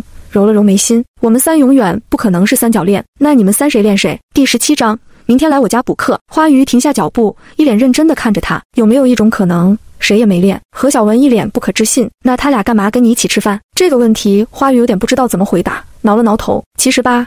叶雨是我小学同学，真的。嗯，下一秒他就被何小文搂住胳膊。好花花，那你能不能把他微信推给我？花鱼就知道会是这个情况，还好没说他是他亲弟弟。我虽然和他是小学同学，但我和他不太熟，不是舍不得把叶雨微信给舍友，而是觉得这种行为不太尊重叶雨。况且他和叶雨说好的，在学校互不认识，互不干涉。不过他上次好像干涉了，不让他和宋梦夏在一起来着。这一干涉，十年功德没了。何小文满脸遗憾，太可惜了。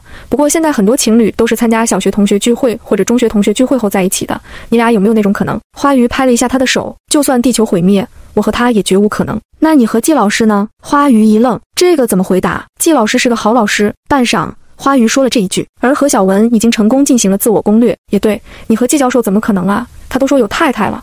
虽然我也认为这是季老师随口说的。花鱼对此不置可否，想这么多干嘛？走。回宿舍睡觉去。中午躺在宿舍的床上，花语想着季淑韵的人气，决定这一年一定要捂好自己的马甲。太吓人了，也不知道他下午喊自己去办公室是因为什么事。午睡起来，花语抹上防晒，才慢悠悠地往老师办公室走去。扣扣，请进。里面传来季淑韵的声音。花语推开门进去，然后发现偌大的办公室只有他一个人在，乖乖地站在季淑韵办公桌的旁边。花语开口：“季老师。”您找我什么事啊？季淑韵看着好学生模样的花鱼，用手指了指对面的凳子，先坐。花鱼老实就坐。将手头的东西改完，季淑韵这才抬头看对面的小姑娘，又乖又甜。即便没有笑，稍微抿一下嘴，就能看到两个小小的梨窝。掩住自己的内心的喜爱，季淑韵眉头故意轻皱。花鱼，咱们京大的卷子分数是百分之七十的卷面分加百分之三十的平时分，这个你知道吧？花语点头，知道。季淑韵点头，那你知道你上学期的平时分是多少吗？花语老师摇头，按照曾老头的严格程度，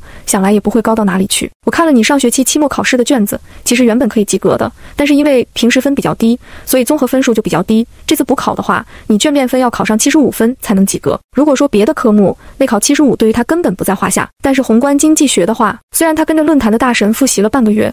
觉得自己已经会很多了，但是还是不能百分百保证可以考上七十五分。于是花语很狗腿的笑了。季老师，你也知道的，如果我补考还不过的话，是会影响我毕业的。我知道，所以你这个周末来我家补课。花鱼愣住，周末？嗯，明天不就是周六了吗？你早上就过来。花鱼的内心是抗拒的。季老师，要不我还是自己复习吧。明天早上想吃什么早餐？季老师，要不我先自己看书，然后遇到不懂的再向您请教。你还是在我眼皮子底下复习比较好。花鱼投降，那。行吧，辛苦季老师了。不客气，我们关系特殊，我理应对你负责。花鱼的内心简直有一万头草泥马奔腾而过，他能不能不要他这么负责呀？这件事情，花鱼商量好之后，季淑韵拉开办公抽屉，从里面掏出一个大礼盒，推到了花鱼的面前。季老师，这是给我的吗？嗯，男人的声音带着笑意。我爸妈知道我们结婚了。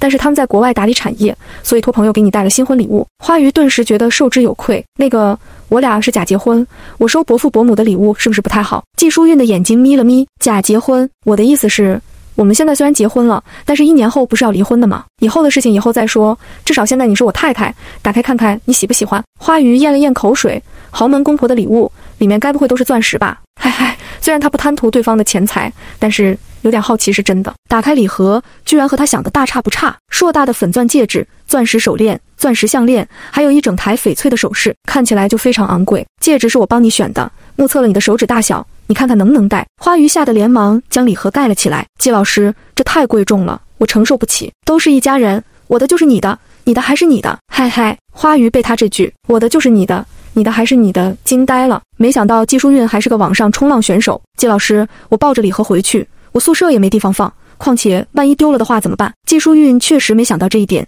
思考了几秒钟才开口：“你把你要带的拿出来，然后剩余的我帮你保管。”花鱼连忙将礼盒推到季淑韵的面前：“我没什么想带的，季老师，这些都你保管吧。”小姑娘的神情满是疏离和客气，季淑韵有点无力，但是自己选的小姑娘。能有什么办法呢？季书韵干脆直接打开礼盒，从里面拿出那条满是钻石的手链，手伸过来。花鱼动了动嘴唇，最终屈服在对方的威力之下，不敢再说反驳的话，乖乖地将手伸了过去，带着温热体温的手指绕过他的手腕，然后将手链上面的锁扣上。花鱼只觉得整个手腕痒痒的，全是他手指的温度。细细的带钻手链戴在他细白的手腕上，衬得他愈发好看。季书韵看了看，也觉得很是满意。明天早上我去你宿舍楼下接你。好的。季老师，第十八章要不要老公抱？第二天早上，原本爱睡懒觉的花鱼在早上五点多就醒了，看了一下微信，没有季书韵的信息，打算再睡会儿，却怎么都睡不着。这种感觉就像是每次周末过后的周一早上闹铃一响，想到很快就要去上学，内心就无比沉重。造孽呀！睡不着，他就干脆起床，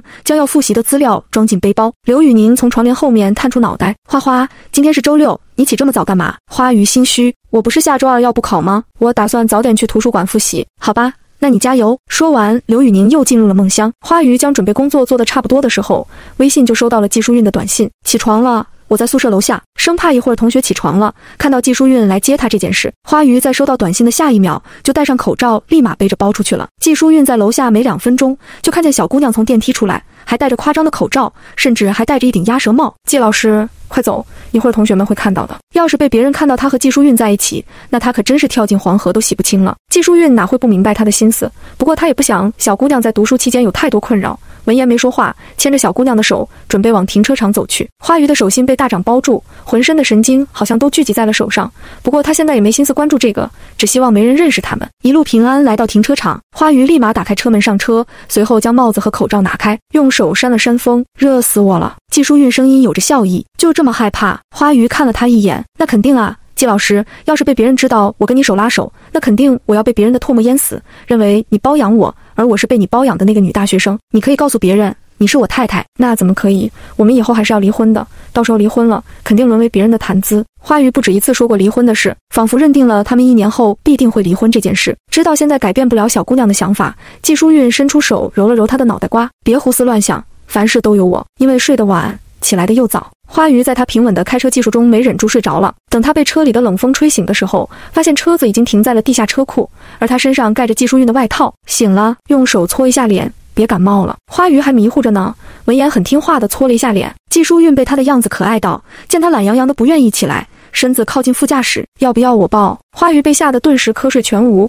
一下子就清醒了。不用。不用等他跟着季淑韵来到他家的时候，才真正见识了啥叫有钱人。偌大的花园，蓝色的游泳池，像是城堡一样的房子。不得不说，有钱真好。录一下你的指纹。旁边传来季淑韵的声音。花鱼眨巴一下眼睛，我的，嗯，万一我明天没时间去接你，你可以自己过来。哦，好的。花鱼猛猛地伸出食指，将自己的指纹录了进去。怎么回事？他怎么觉得事情有点偏离轨道了？本以为这么大的房子会有阿姨什么的，但是走进去才发现。这么大的房子，平时好像只有季书韵一个人住。像是看出他的疑惑，季书韵在一边开口：“我从小就习惯一个人住，家里的卫生偶尔会请钟点工。”花鱼有些拘谨地坐在沙发上喝着热牛奶，然后就看见季书韵很娴熟地围上围裙，去厨房做早餐。这个男人不仅绝色，还居家。这么一想，有他做老公，好像还是自己占了便宜。早餐做得很快，有三明治、煎蛋。水果还有粥。季淑韵一边给三明治抹果酱，一边看向旁边的人。昨晚回来比较晚，没来得及去采购。明天你想吃什么？告诉我。花鱼连忙摆手，不用。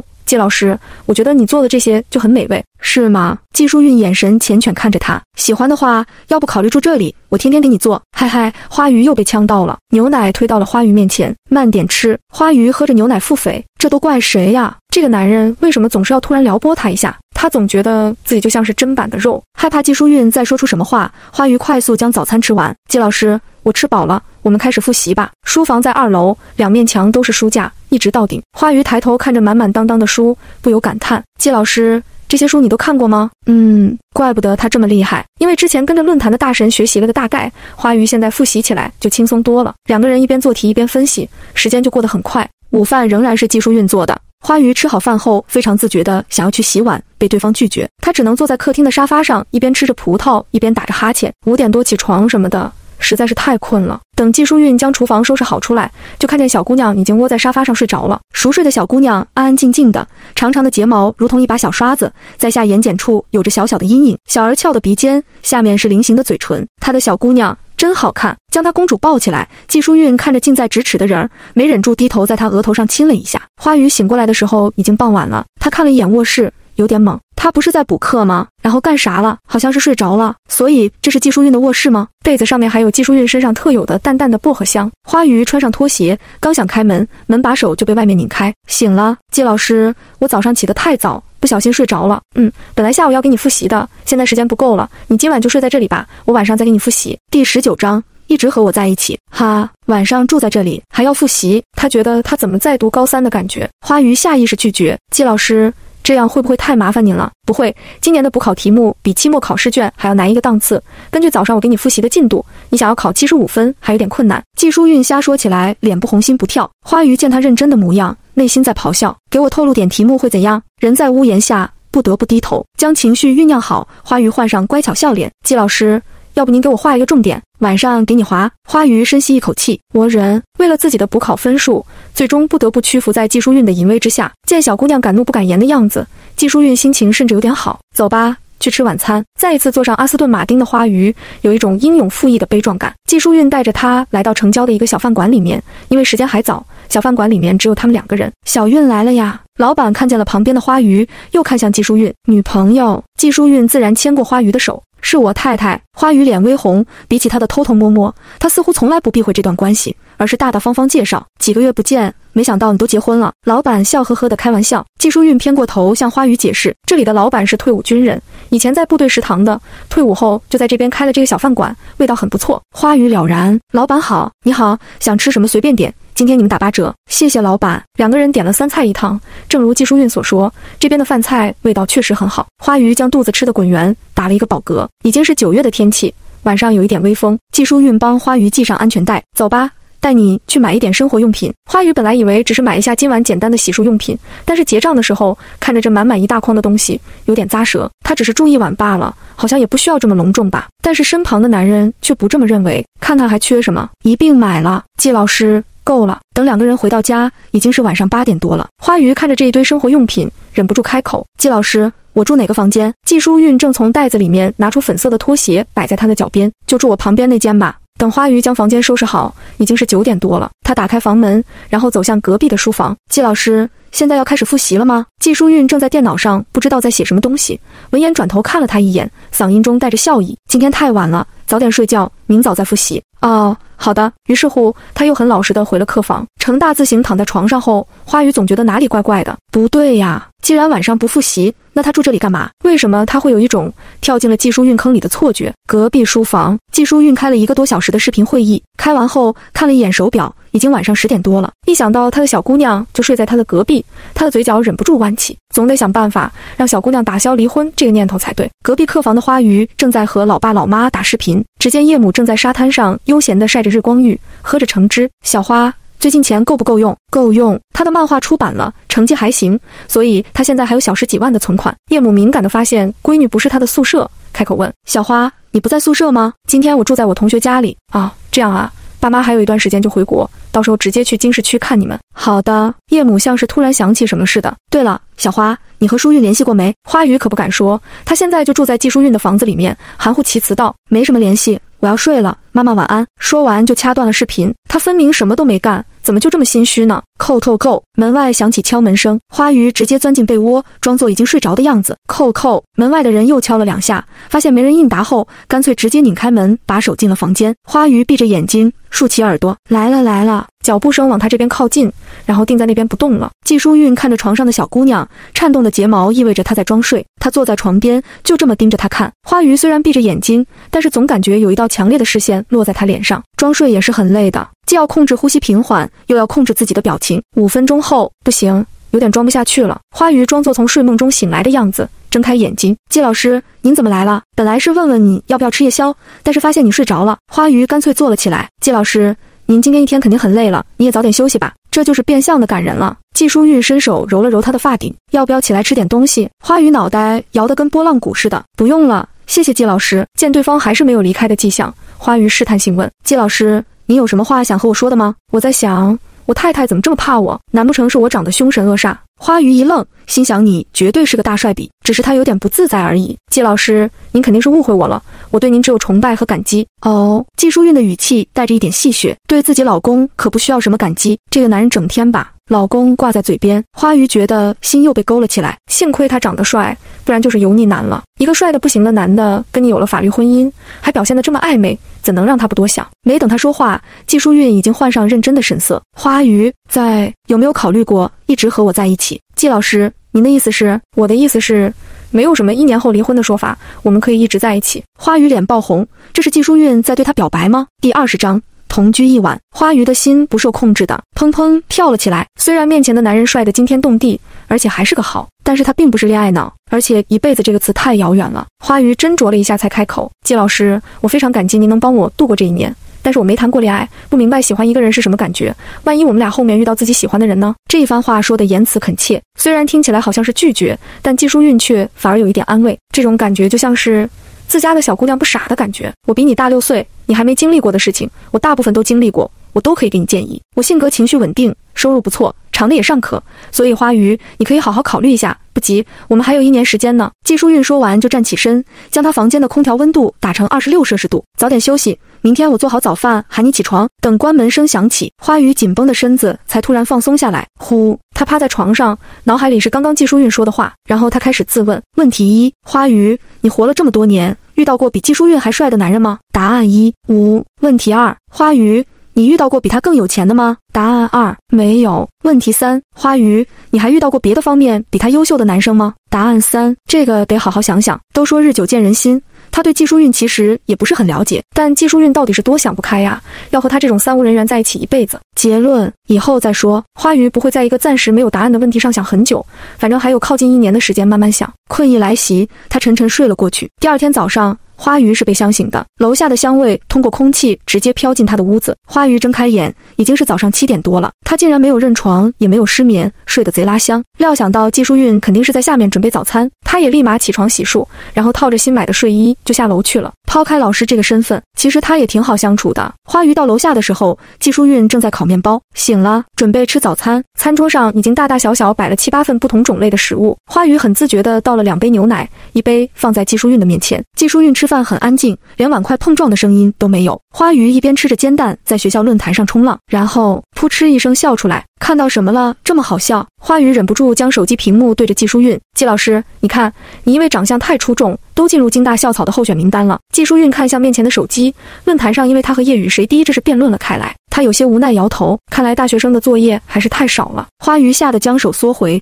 惊恐地看着他：“季老师，您不会要布置作业吧？”不会，花鱼顿时放下心来，那就好。对了，季老师，您是曾老师的学生吗？嗯，我读博的时候跟着他，大部分时间都在写论文。花语了然，怪不得这么帅气的人，他们以前都没发现，原来是专业搞学术。吃过早餐，花鱼非常自觉地起身刷碗，遭拒。于是他坐在沙发上，听着厨房隐隐约约刷碗的声音，觉得自己好像赚到了。要说花鱼跟着论坛大神没白学，早上的补课时间，季淑韵每次说的重点。他都能答得上来，完了收到对方赞许的目光。上学期期末考，你如果是现在这个程度，那上学期都可以拿奖学金了。奖学金，季老师，你看过我别的科目的分数？季淑韵丝毫没有避讳。嗯，看过。好吧，花鱼对此不置可否。临近午饭，季淑韵接了一个电话，似乎是有别的事要去忙，于是花鱼解脱了。季老师，您不用送我回学校，我自己打车回去就好。季淑韵已经拿起了车钥匙，走吧。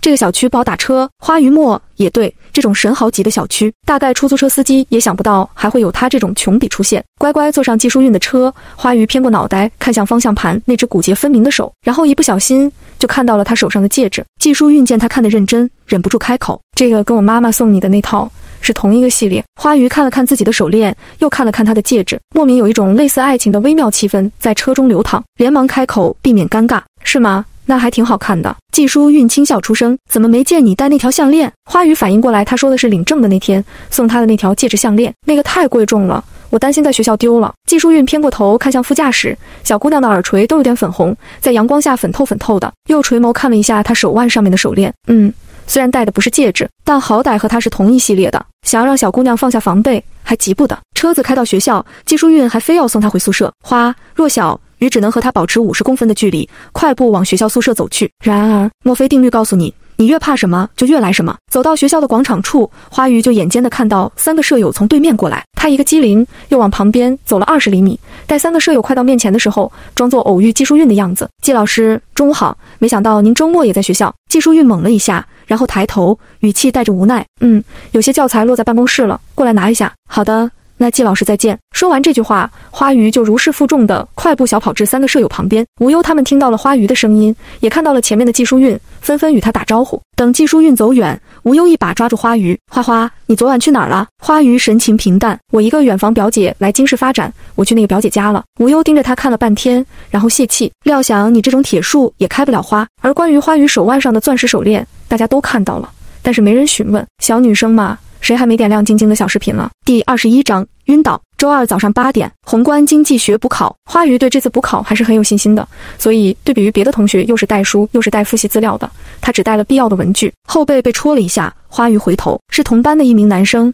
脸上带着不好意思。花鱼。你复习了吗？能不能一会儿给我借鉴一下？虽然和这名同学不熟，但是借鉴这种事嘛，大家都应该互帮互助。于是他很爽快地点了点头。考试前两分钟，季淑韵带着卷子走进教室，看了一眼教室的众学生，说了一下考场纪律，就开始下发卷子。花鱼拿到卷子，先是大概看了一下，发现百分之九十的题型他都复习过。顿时心安，开始提笔做了起来，快速将选择题做完。想到后面的难兄难弟，他将答题卡放在了桌角处，便于后方的兄弟借鉴，然后自己继续做计算题。题型全部复习过，所以他做起来游刃有余。做到最后一道大题的时候，花鱼伸了个懒腰。就在伸完懒腰那一瞬间，突然眼前阵阵发黑，花鱼的冷汗在一瞬间全冒了出来。喘不过气，有一种濒临死亡的感觉。短短一秒钟，无数个念头在花鱼脑海里闪过：什么情况？心梗吗？这是？还是说那个魔咒提前到了？他用手撑住凳子，想呼救，却发现自己连声音都发不出来。这种濒死感太真实了，花鱼只能抬头，费力看向讲桌上面的季淑韵。在他彻底失去意识之前，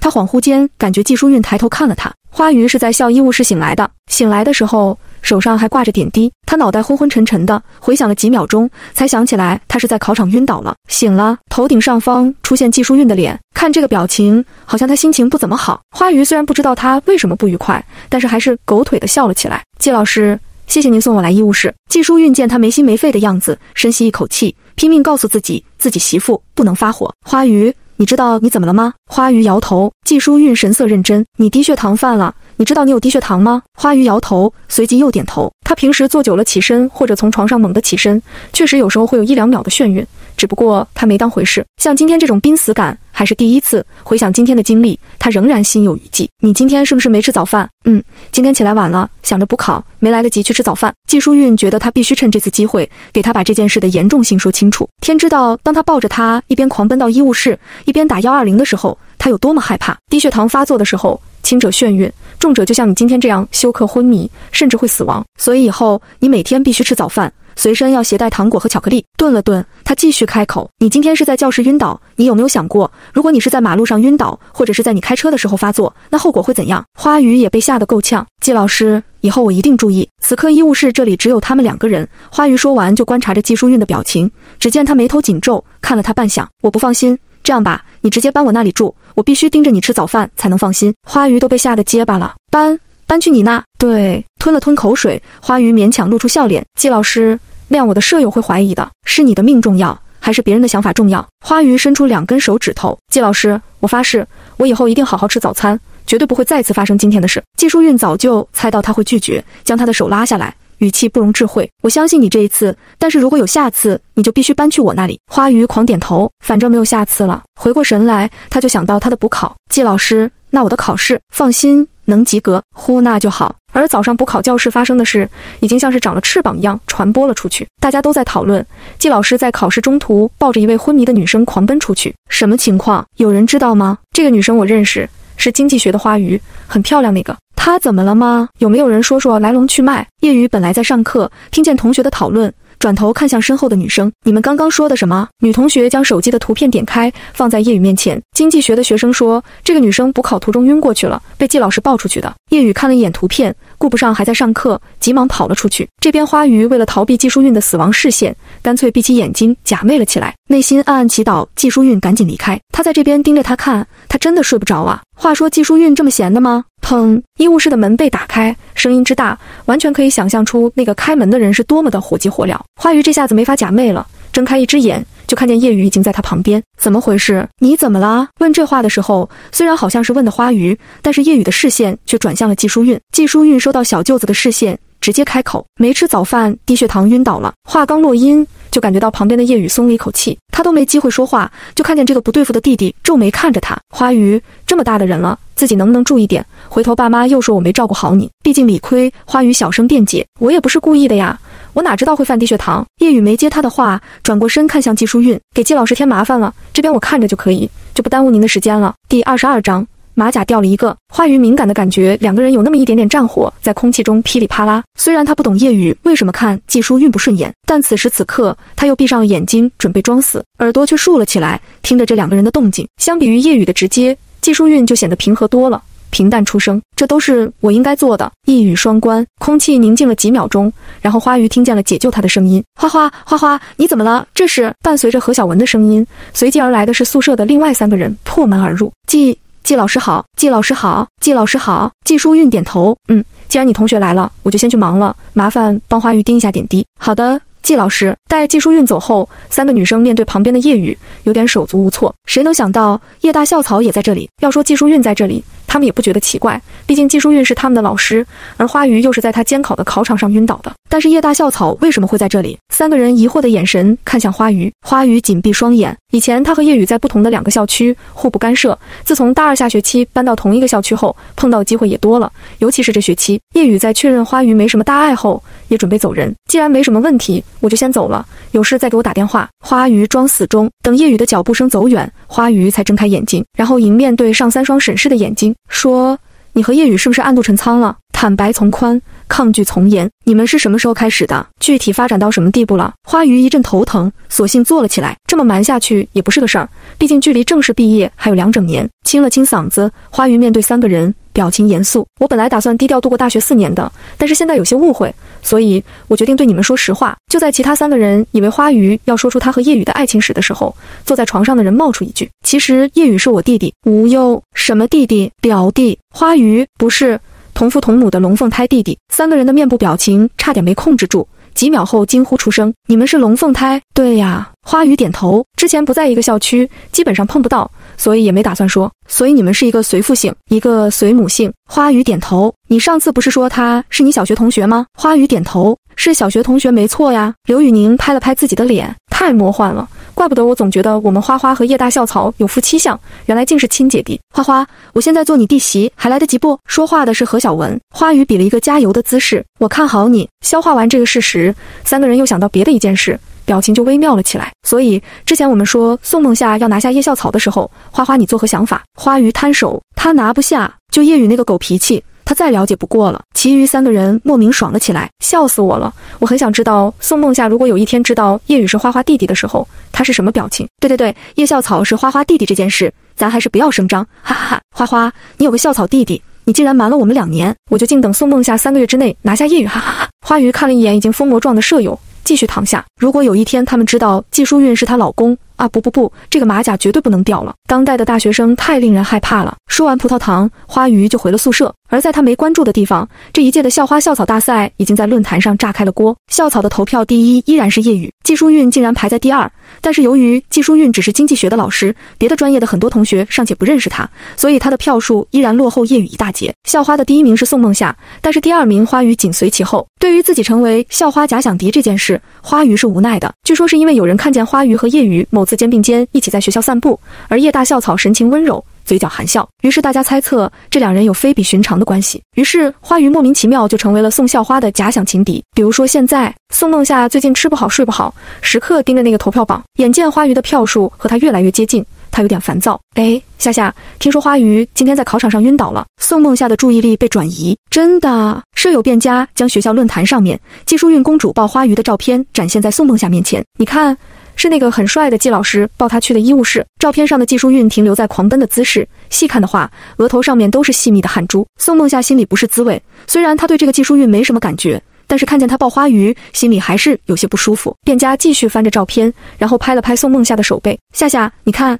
叶校草也去医务室了。照片上的叶雨应该是正从医务室出来，眉头紧锁，脸上透露着担心。宋梦夏捏了捏拳头，小狐狸精。长得倒是一副清纯样，背地里可会哄男人了。嘻嘻，夏夏，你别担心，男人啊都会被那种白莲花一时迷惑，但是让他们真娶白莲花进门，他们可是万万不愿意的，玩玩罢了。听到舍友这么说，宋梦夏心里稍微好受了一些，但是一想到叶雨对自己冷冰冰的态度，就气不打一处来。那个叶雨也太不知好歹了一些，他都主动示好了，他竟然一点面子都不给。但是大话已经说在了前头，要是叶雨一直没女朋友就罢了，万一他眼瞎和那个花鱼在一起，这让他的面子往哪儿放？第二十三章。季老师，我们这样太危险了。周三的上午没课，花语晚上打开《还珠格格》，看得津津有味。等困的眼睛都睁不开的时候，已经凌晨一点多了。第二天早上七点，手机在床头震动，花语迷迷糊糊接起电话，声音软糯：“喂，起床吃早饭。”电话那头传来熟悉的低磁音。花语拿开手机看了一眼，上面的“季老师”三个字尤为明显。他的瞌睡醒了一半，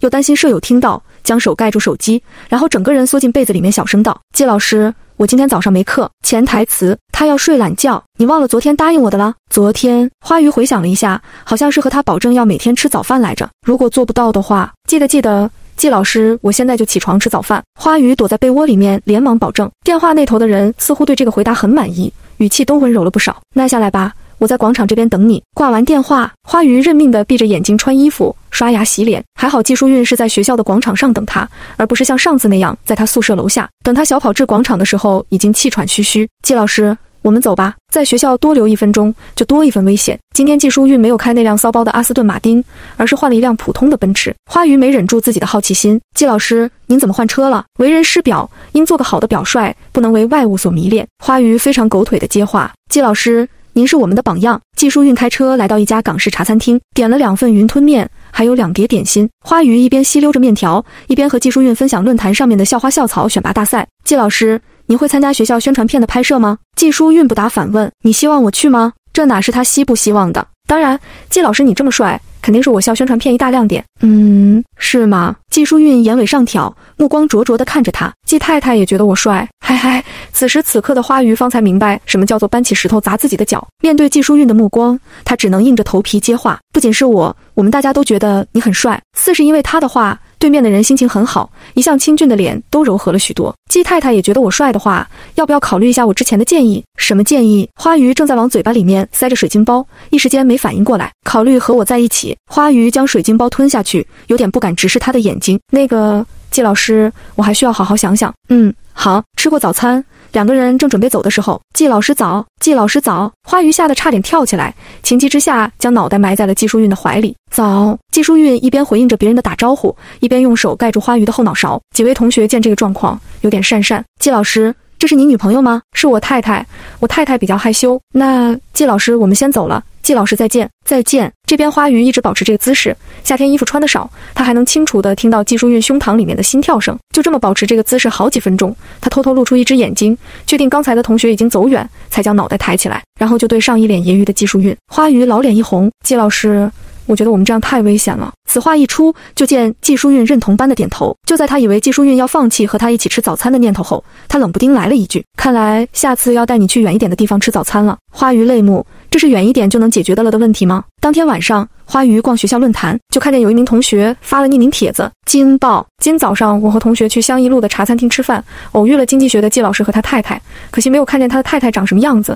季老师全程将他太太搂在怀里，呜，太好磕了。帖子的下面还配了一张偷拍的侧面照。一 L，所有季老师真的结婚了。四 L，一看季教授就是特别宠他太太的。八 L，好奇怪的，师娘躲什么呀？被同学看见就大大方方打招呼就可以了呀。十一 L。或许是社恐呢。三十一 L，季老师好帅呀！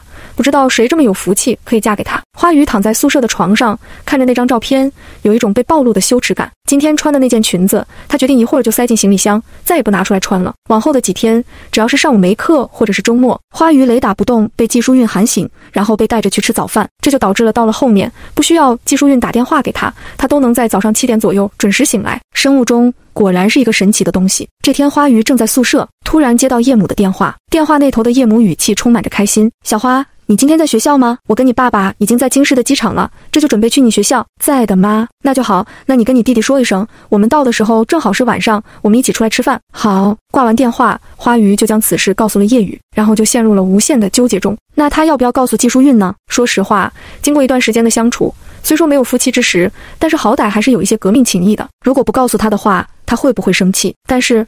爸妈都还不知道季淑韵是他老师这件事，反复纠结了一阵子，他决定还是发个信息问问季淑韵。花鱼，季老师，我爸妈一会儿要过来，但是他们现在还不知道你是我老师，你要和他们见面吗？等待回复的过程有点煎熬，他也不知道希望收到对方见面还是不见面的答案。第二十四章，一家人。没等来对方的短信，花鱼直接接到了季淑韵的电话。喂。季老师，电话那头的人似乎在走路。花鱼在电话中还能隐约听到那边的脚步声。在宿舍吗？现在在的。收拾收拾下来吧。我刚给爸妈打过电话了，让他们在机场稍等一会儿。我现在出发去接他们。啊，好的，我这就下来，以最快的速度换好衣服下楼。季淑韵已经在宿舍不远处等着了。季老师，我把我弟弟喊上。花鱼一边系安全带一边说：“已经喊过了，他在校门口。”花鱼发现所要做的所有事情。季淑韵已经都做完了，这种感觉好像还不错。等叶雨上了车，三个人就出发去机场。花父和叶母在机场等待的时候，两个人不由回想刚才季淑韵那个电话。花父，宝宝，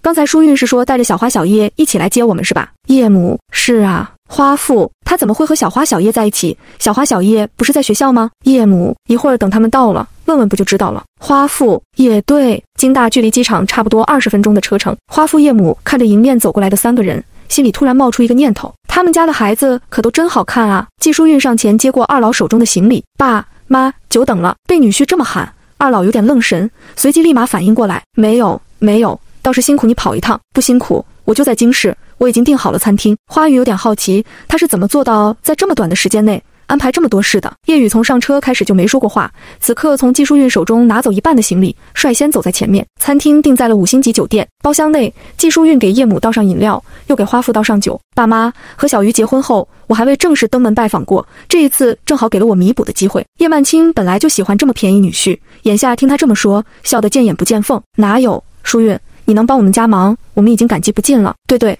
不过淑韵。你怎么会也在京市？花父在一旁接话。季淑韵看了一眼花鱼，带我研究生的导师生病了，所以我暂代他的课程，暂时会在京大教书。教书，淑韵，你的意思是，你现在是小花小叶的老师？一想到女婿是女儿和儿子的老师，叶母的内心出现三个字：刺激呀！我是教经济学的，所以暂时是小鱼的老师。花父终于回过神来。看看自家女儿，又看了看这个便宜女婿，这感情好啊！这样小花在学校，我们也放心了。整顿饭下来，季淑韵和二老相处非常自然。花父叶母就别说了，在季淑韵的夸夸之下，笑得比姐弟俩考上大学还开心。花父喝了一点小酒，话就开始多了起来，将花鱼从小到大的事情都说了个遍。花鱼坐在他老爹对面，恨不得找个地缝钻下去。而季淑韵一边饶有兴致地听着，一边揶揄地看着他。花鱼闭了闭眼。算了，也不差再丢人这一会儿了，干脆化悲愤为食欲，大快朵颐了起来。中途季叔运去卫生间，旁边的叶雨也随之出去。等两个人不在，叶母才看向花鱼，眼神中带着一丝责怪：“你这孩子，舒运成了你的老师，你怎么不说？你们也没问啊？”叶母在他脑袋上敲了一下：“我还不知道你啊？要不是我们今天来，你这是打算一直瞒着我们？”花鱼没有反驳，毕竟他就是这么想的。叶母经过今天和季淑韵的接触，对这个女婿是越看越满意，忍不住开始给自己的女儿洗脑。小花，以前我跟你爸呢，就是想着舒韵是帮了我们的大忙。现在我们觉得舒韵这个孩子真的不错，或许你可以重新考虑一下这段婚姻。我知道了。见女儿回应，叶母也就没有多说。自己的女儿从小就有自己的判断和主意，做父母的只能提点一下，并不能帮她做决定。男卫生间的洗漱台，一般电视剧里面，两位主人公总是会在这个地方发生火花。叶雨侧头看了一眼季舒韵，季老师。我有点不懂您现在对我家的意思，哪里不明白？叶雨本不是一个拐弯抹角的人，干脆打开天窗说亮话。季老师，您可以说是我们家的恩人，但是感情这事不是报恩，我不希望您道德绑架我姐姐或者我父母。我说过我会尽我所能弥补您，或许我现在的能力还不足够，但是我相信有一天我一定可以。花鱼这么笨，很有可能因为报恩而将自己的一辈子搭进去。而这位季教授似乎和他家的关系不仅是帮忙这么简单了。季淑韵认真听完叶雨的话。神色认真。叶雨，你认为我关心花鱼，或者是亲近你的家人，是为了道德绑架花鱼吗？我并不想这么认为，但是您的所作所为，我不是很能理解。如果只是帮一年的忙，怎需要这样尽心尽力？你猜的没错，我不仅是要这一年，我要的是一辈子。季老师，感情的事不能勉强。我承认您对我们家有恩，但还是不希望您勉强花鱼。季书韵抽过一旁的纸巾，擦干净手，缓了几秒才开口：“我不会勉强他。”所以你可以认为我现在的行为是在追求他，让他愿意和我在一起。叶雨一愣，他没想到是这个答案，但同时有松了一口气的感觉。两个人一前一后回到包厢，神色自若，看不出一丝异常。一家人吃过饭，季淑韵已经安排了这个酒店的套房，而叶雨说自己还有事，拒绝和花鱼一起回学校，自顾自走了。花父不胜酒力，饭局过后就有点晕乎乎的，被叶母一边嫌弃一边搀扶着回了酒店。于是，一下子就剩下季淑韵和花鱼两个人。第二十五章。我很早以前就认识你，季老师，咱们现在回学校吗？要不要叫一个代驾？季淑韵刚才也小酌了几杯，但面上不显。花鱼，陪我走走吧。说完这句话，季淑韵就向花鱼伸出了手，对方看着近在咫尺的手，修长干净，指节轻弯，无声地对他做出邀请。花鱼内心不断进行自我攻略，又不是没牵过，只不过是牵了手嘛。将手放进他宽大的掌心。随即就被他握紧，花鱼甚至可以感觉得到他手上的骨节。两个人沿着城市的马路慢慢走着，晚上有微风吹过，吹过身边的人，花鱼能闻到空气中淡淡的酒的气味，但是他竟然不觉得难闻。花鱼，你相信命吗？季淑韵突然出声。花鱼冷不丁愣了一下，他是不信命的，但是他结婚这件事狠狠打了他的脸，似乎是没想等他的回答。旁边的人自顾自地说：“其实我很早就认识你了。”这下子花鱼是真的愣住了。停下脚步，诧异的抬头看向他。啊，什么时候？季淑韵顺着他的脚步停下，居高临下看着他，低低的笑着。在你大一的时候，我读研究生的时候，那天早上，我跟着导师去听讲座，在学校的广场看见你在练双节棍。小知识：研究生并非专指硕士，研究生分硕士研究生和博士研究生。本文出现的研究生是指男主读博士研究生时间。花鱼的脑袋迅速运转起来。大一刚开学的时候，被学校里面各种各样的社团迷乱了眼，最终他除了竞选进学生会之外，还进了一个双节棍的社团。那会儿觉得会双节棍实在是太酷了，于是每天清晨都跑去学校的广场上面练习。没想到被季淑韵看见了，似乎是想到什么好笑的事情。季淑韵的胸腔里面满是笑意。那会儿我站在那里一直看着你，但是你好笨，一直打到自己的身上，我就在想，这个小姑娘太笨了。花鱼愤愤地看着他，这难不成是你娶我的原因吗？季淑瑜用手捏了捏他的脸，对呀，我想着娶回家一定很有趣。明知道这话是逗他的，花鱼还是拍掉了他的手。那你当时的导师是曾教授吗？嗯，后来机缘巧合，他还带你们班的经济学。花鱼后知后觉想起之前在医院曾教授和他说的话，睁大眼睛，你该不会是对曾教授说过什么吧？季淑韵的声音充满着揶揄，说过喜欢你算吗？花鱼脸上发烫，想起之前曾教授老喜欢点他名这回事，他恍然大悟，所以是因为你。曾教授才这么喜欢点我的名的吗？季淑玉摸了摸鼻子，或许吧。花鱼突然觉得，好像之前在他不知情的情况下，发生了许许多多的事情。如果按照季淑韵的说法，他很早就喜欢他的话，而他的出生日期正好又是他所需要的，不能再想下去了。花鱼晃了晃脑袋，怎么回事？他刚才脑海里面冒出来的词，竟然是天作之合。手重新被握紧，季淑韵牵着他往回走，走吧，该回去了。等重新走回酒店停车场的时候，花鱼突然想起来。他们还没叫代驾，于是开车这个重任就落在了花鱼身上。算起来，这还是他拿到驾照后第一次开车。还好这款奔驰年纪又大又低调，还是个手动挡的，倒是和他驾校学的车辆的结构相似。季淑韵不知道是不是过于太相信他的开车技术了，竟然已经在副驾驶闭上眼睛假寐。那我靠会儿，头有点疼。花鱼整个人坐得笔直，就差没贴在方向盘上了。车子里面的轻音乐也完全没心思听，整个人的心思都在前面的路况上面。京市不管什么时候，马路上面都有源源不断的车辆和行人。大家都赶着回家，花鱼稍稍不注意，就有一辆小车打算插进他们车子的前面，这怎么能行？中华人民共和国的女人永不认输。花鱼想到此，一脚油门踩了下去，紧紧跟上前面那辆车。副驾驶本来假寐的季淑韵不知从什么时候已经睁开了眼睛。花鱼快速转头看了他一眼：“季老师，您要是累了就睡吧，我可以的。”季淑韵咳了一声：“我有点害怕。”花鱼，谢谢。感觉有被侮辱到。回水榭兰亭要经过高架桥，偏偏今天高架桥的入口上坡处发生了车祸。花鱼将车停在了上坡处，脚紧紧踩着刹车，生怕脚下一松，车子就往后滑下去了。花鱼神经紧绷到了极点，停留了差不多十来分钟，前面的车缓缓往前开了一段路，轮到他了。花鱼松开脚刹，还没来得及踩油门，车子就滑下去一点，吓得他赶紧又把刹车踩住，车窗被敲开，车门外面站着一个大哥，看见花鱼先是一愣。本来怒气冲冲的脸瞬间就柔和了下来。妹妹，你这后溜的我害怕呀，你要不行的，我帮你开成不？花鱼被说的尴尬，硬着头皮笑道：“不用，等前面的车再开上去一点，我就开走。那行吧。”车外的大哥挠了挠头，那不行的话，我先找两块砖头垫在你后轮下面，你看成不？不，不用了吧。车外的大哥似乎觉得这个主意甚好，急匆匆就去找石头了。花鱼连忙拉好手刹，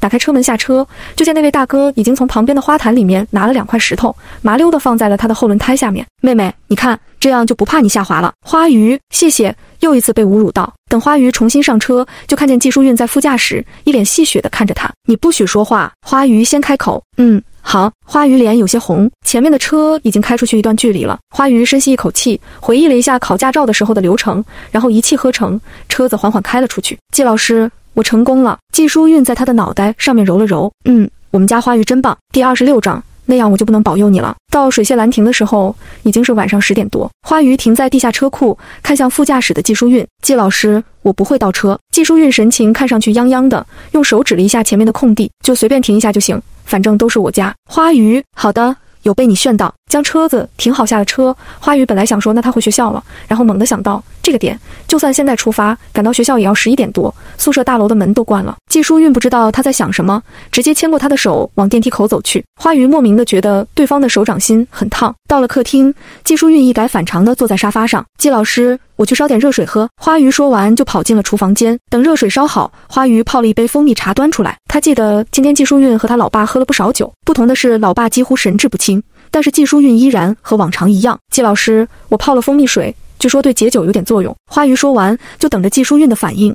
然而沙发上面的人一动不动，整个脑袋靠在沙发后座，似乎是睡着了。季老师，季老师，花鱼靠近，伸出手在他眼前挥了挥，别调皮。挥在空中的手被季书韵抓住。花鱼伸出另外一只手，用手背碰一下他的额头，滚烫滚烫的。季老师，你发烧了。季书韵的眼睛仍然紧闭。嗯，没事，我休息会儿就好。花鱼抽出自己的手，你怎么行？季老师，你家有没有退烧药？不对，你喝酒了不能吃药。说完这句，他像是想到些什么。季老师，你是不是发烧很久了？你怎么发烧还喝酒呢？也没等来季淑韵的回答，花鱼急忙去拿毛巾，将湿毛巾敷在季淑韵的额头。花鱼还顺便找来枕头。季老师，要不您现在先躺在沙发上吧。季淑韵睁开眼，你怎么一会儿你一会儿您的？没等他反应过来，就被他一把扯过去，趴在了他身上。花鱼只觉得身子底下的那具身体滚烫的，而自己的脸也是滚烫的。像是要燃烧起来一样，眼前的气氛暧昧的他，甚至都不敢挣扎着起身。花鱼在，花鱼以后对我不许说您，知道了吗？知道了，季老师。嗯，乖。季淑玉用掌心摸了一下他后脑勺，然后重新闭上眼睛睡觉。男人的呼吸声很快变得均匀。花鱼因为离得近，还能闻到他身上的酒味，他肯定是早就不舒服了，一直强撑着吃完这顿饭，还喝了酒。不知为何，花鱼的内心突然变得涩涩的，所以他真的很用心对待他的家人。是吧？轻手轻脚地从季淑韵的身上起来，花鱼拿过她额头上面的毛巾，重新换了水凝干。据说喝酒的人容易口渴，更何况他还发着烧。花鱼细细地看着这个睡颜，果然嘴唇已经开始翘起了皮。他又急忙用棉签蘸蜂蜜水，一点点湿润他的嘴唇。就这么一直忙着换毛巾，忙着用棉签润他的唇。花鱼最终累得坐在地板上，头趴在沙发上就睡着了。深夜，季淑韵晕晕沉沉地醒来，将额头上面的毛巾拿了下来。嗓子干疼干疼的，撑着身子坐了起来，就看见趴在沙发上面睡着了的花鱼，还有他旁边的蜂蜜水。他的家在这一刻终于不再是他一个人了。将花鱼横抱起，视线看到一旁早就凉掉的蜂蜜水，最终还是腾出一只手，端起杯子一饮而尽。好甜！抱着花鱼到了二楼，季书运用脚轻轻踢开旁边的客房，刚想开灯，不知道为何他又鬼使神差的将小姑娘抱进了他自己的卧室。今天他是病人，可以任性一下，将小姑娘的鞋袜脱掉放进被窝。季书韵坐在床头，就这么怔怔地看着他，看了半晌，俯身在他额头亲了一下。花鱼是被浴室的水声吵醒的，揉了揉有些酸痛的脖子，环视了一下四周。嗯，这个灰色风格是季书韵的卧室，浴室里面依然是哗啦啦的水声。然后花鱼就听着水声停了，接着是吹风机的声音，随后就见到穿着浴袍的季书韵从浴室走了出来。醒了，花鱼抬头，刚出浴的男人头发还是半干的状态。比起平时的清俊模样，多了一分不羁。浴袍的领子敞开，露出分明的锁骨，最下面是修长有力的小腿。花鱼咽了咽口水，内心出现了第一次见到季淑韵的那声感叹：绝色呀！正在发神的时候，额头就被弹了一个脑泵，看傻了。花鱼收回目光，有些不自在。我刚刚只是在想事情。哦，是不是在想我？可哪有？我在想季老师，你现在还发烧吗？其实季淑韵的身体一直都很不错，今天下午有点不舒服，然后因为二老的到来，撑着身子陪着二老吃了顿饭，本以为没啥事，哪知道就开始发烧了。好多了，多谢季太太的照顾。花鱼觉得她在这里完全占不到话语权，掀开被子下床。季老师，既然你这边没什么问题了，我就回客房睡了。刚想走，手臂就被季淑韵禁固住，随后一个旋转。等他再次站定，已经在季淑韵的怀里。花鱼的额头被他的下巴抵住，然后低词又带着撒娇的声音在头顶响起：“不要，我又生病，还喝了酒，万一半夜发高烧，呕吐物呛住了怎么办？那样可就没人保佑你了。”这个时候的季淑韵无比庆幸。还好自己还有保佑他这个重要作用，要不然小姑娘肯定早就跑了。花鱼的脸贴在他的胸膛，随着他说话，能感受到他胸腔的震动，震地他酥酥麻麻的。季淑韵说完，将他松开一点，然后看向他的眼神缱绻又温柔。今天就睡在这里，好不好？这个虽然是一个疑问句，但是花鱼觉得好像是一个引导句。花鱼的耳垂都在发烫，就这样点了点头。好，随后又被搂紧。他听到季淑韵从喉咙里发出笑声，回过神来的花鱼整个脸道都是通红的。没事没事，他只是担心这个保命符发生什么意外，绝对不是因为那传说中的爱情。作者的话，感谢已经阅读到这边还在支持本文的小可爱读者，你们喜欢看我就有无限动力，愿大家暴富暴美。第二十七章。出远门，花语整个人被季淑韵搂在怀里，他甚至觉得她的后背都能感受到她的心跳。或许这只是她自己的心跳，这个在法律上是她丈夫的人，似乎正在一步一步侵入她的生活，甚至现在已经发展到同床共枕的革命友情了。花鱼借换姿势的理由，悄悄离他远了一些。今天照顾季淑韵也有点疲惫，没过多久就沉沉睡去。清晨，季淑韵是被冻醒的，睁眼一看，半床被子被花鱼裹在身上，半床被子被她夹在了双腿中间，她无奈扯了一下。没扯得动，墙上的时钟已经指向了五点半，他干脆起身洗漱。靠近七点，季淑韵将花鱼叫醒，今天要陪岳父岳母吃早餐，还要送他们去机场。花鱼不知怎地，今天跟睡不够似的，前往酒店的路上还是昏昏欲睡。花父和叶母已经在酒店的餐厅吃早餐了，见到他俩一起过来，叶母刚想说些什么，旁边的季淑韵就已经开口解释：昨天吃完饭突然发烧，多亏了花鱼照顾我。发烧，叶母丝毫没有顾虑。直接上手摸上了季淑韵的额头，那现在怎么样了？有没有去医院？已经没事了，睡一觉好多了。叶母又絮絮叨叨叮嘱了一大堆，话里话外已经把季淑韵当成了自己的孩子。季淑韵静静地听着，时不时附和几句，俨然一出母慈子孝的场面。花鱼都觉得她自己是多余的了。早餐依然是在酒店吃的。吃饭途中，叶母突然想到自家儿子小花。小叶呢？花鱼慢吞吞吃着自己手中的面包片，不知道我和他在学校也极少碰到，可能在忙吧。他们专业课比较多。这样啊，那行吧。叶母也不再纠结，反正对于儿子，他一直是放养状态。吃过早餐，将二老送去了机场，花鱼就率先回了学校。毕竟今天下午还有课。三天后，论坛的学校宣传片投票，美元校花投票出了结果，花鱼和去年一样，仍是第二。第一还是宋梦夏。哇哇，气死了！今年的宋梦夏怎么又是第一？何小文在宿舍愤愤道：“哎。”谁让人家好看呢？而且还主动给同学们买水、拉投票。无忧对此很是不屑，切，花钱买来的投票有什么稀奇的？还得看我们花花，一分心思都没花，轻轻松松就是第二。而且和第一只差了几十票。面对舍友们的惋惜，他倒是对第一、第二没什么感觉。要不是他不用报名就在投票榜上，甚至他压根不想参与这个投票。第二天，花鱼被辅导员喊去办公室，辅导员已经身怀六甲，挺着大肚子，笑着看向花鱼。花鱼，论坛上面的那个投票，想必你也知道，我们经济学呢，只有你一个学生入选了。虽说这个投票并非是官方的，但是毕竟也是大部分学生的意愿。你看你愿不愿意参加学校宣传片的拍摄呢？当然，如果你有自己的顾虑，不愿意参加。也是不勉强的，我们系会再推荐别的学生去。花语早就有了心理准备，既然已经到了这个位置，能为母校拍宣传片，他还是很乐意的。我愿意的，老师。辅导员笑得更温柔了。那就好，咱们经济学的季教授也会跟你一起去。到时候有什么事情，你就找他好了。季教授也去。对呀。辅导员摸了摸肚子，我这快到预产期也快到了，马上就要休产假了，所以下个月开始，你们的辅导员也暂时换成季教授。花语一时间接收了这么多消息，有点反应不过来。恰好这个时候，办公室的门打开，季淑韵从外面进来。潘婷见到他，朝他挥手：“季老师，这个就是我们系要去拍摄宣传片的学生，叫花鱼，也在你的班上。”季淑韵走过来，我知道。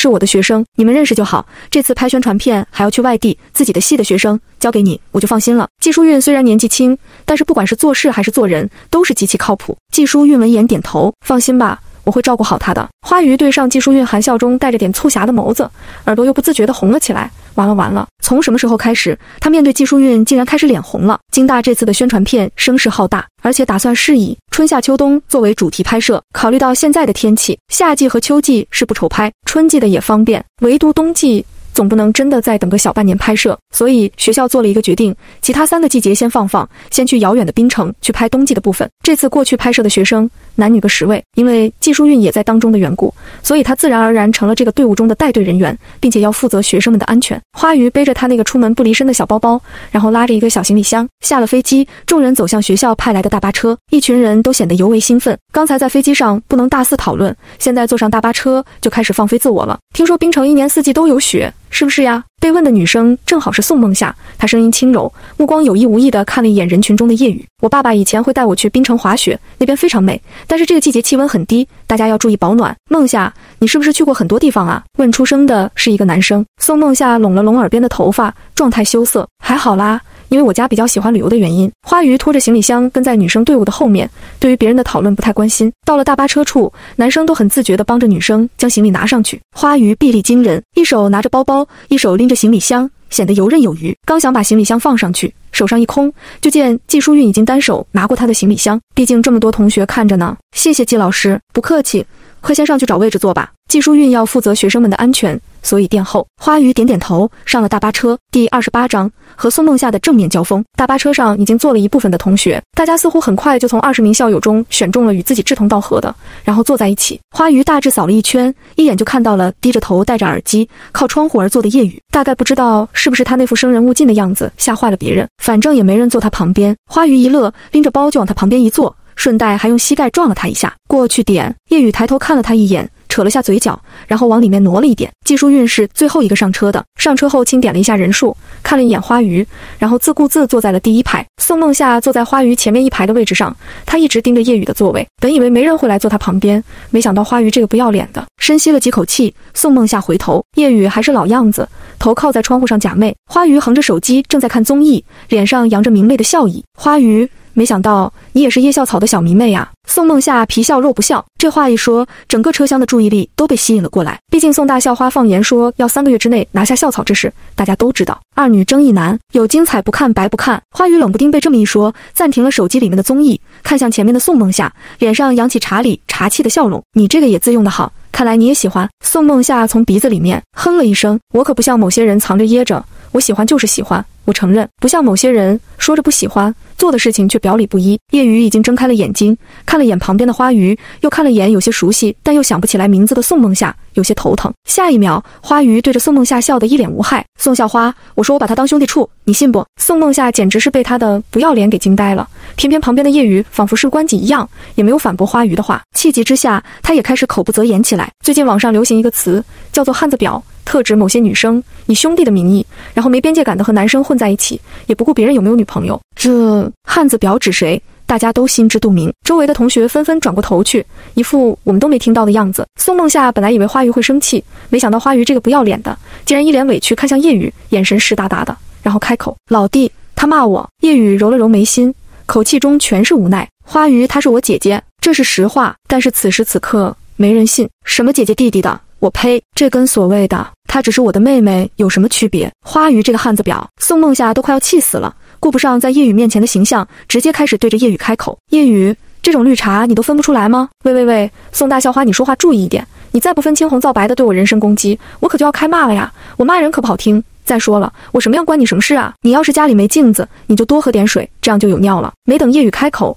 旁边的花语已经开口了，一脸的凶神恶煞，哪有刚才对着叶雨的委屈样子？他可是王者一口气骂哭五个小学生的存在。你宋梦夏那个气呀，说又说不过，偏偏叶雨跟被下了蛊一样，这么明显的绿茶都分不出来。季淑韵坐在前排，照理说学生之间的这种口角，她作为老师不该插手。毕竟都不是小学生了，但是眼看着状况有愈演愈烈的趋势，宋梦夏刚想到反驳的话，刚想讽刺花鱼，就被前面的季淑韵打断：“别在大巴车上喧哗。”看了一眼花鱼，他神色不明。花鱼坐到我这边来。花鱼被季淑韵一喊，冷不丁被吓了一跳，然后就有些愤愤。他还没对够呢，还没发挥到最好呢，只能不情不愿地拿着小包包起身离开座位。宋梦夏一口气刚提上来，又被压了下去。刚才花云明显在侮辱他，季淑韵不批评自己的学生也就罢了。现在还把他喊过去了，留下自己一口气咽都咽不下去。花鱼还在想着自己的发挥，所以坐下来的时候重重的。季淑韵觉得有些好笑，要不是车上都是学生，她甚至想捏捏花鱼的脸。后面的学生叽叽喳喳讨论个不停，趁着人多，季淑韵突然侧到他耳边开口：“生气了。”花鱼气鼓鼓地看着他，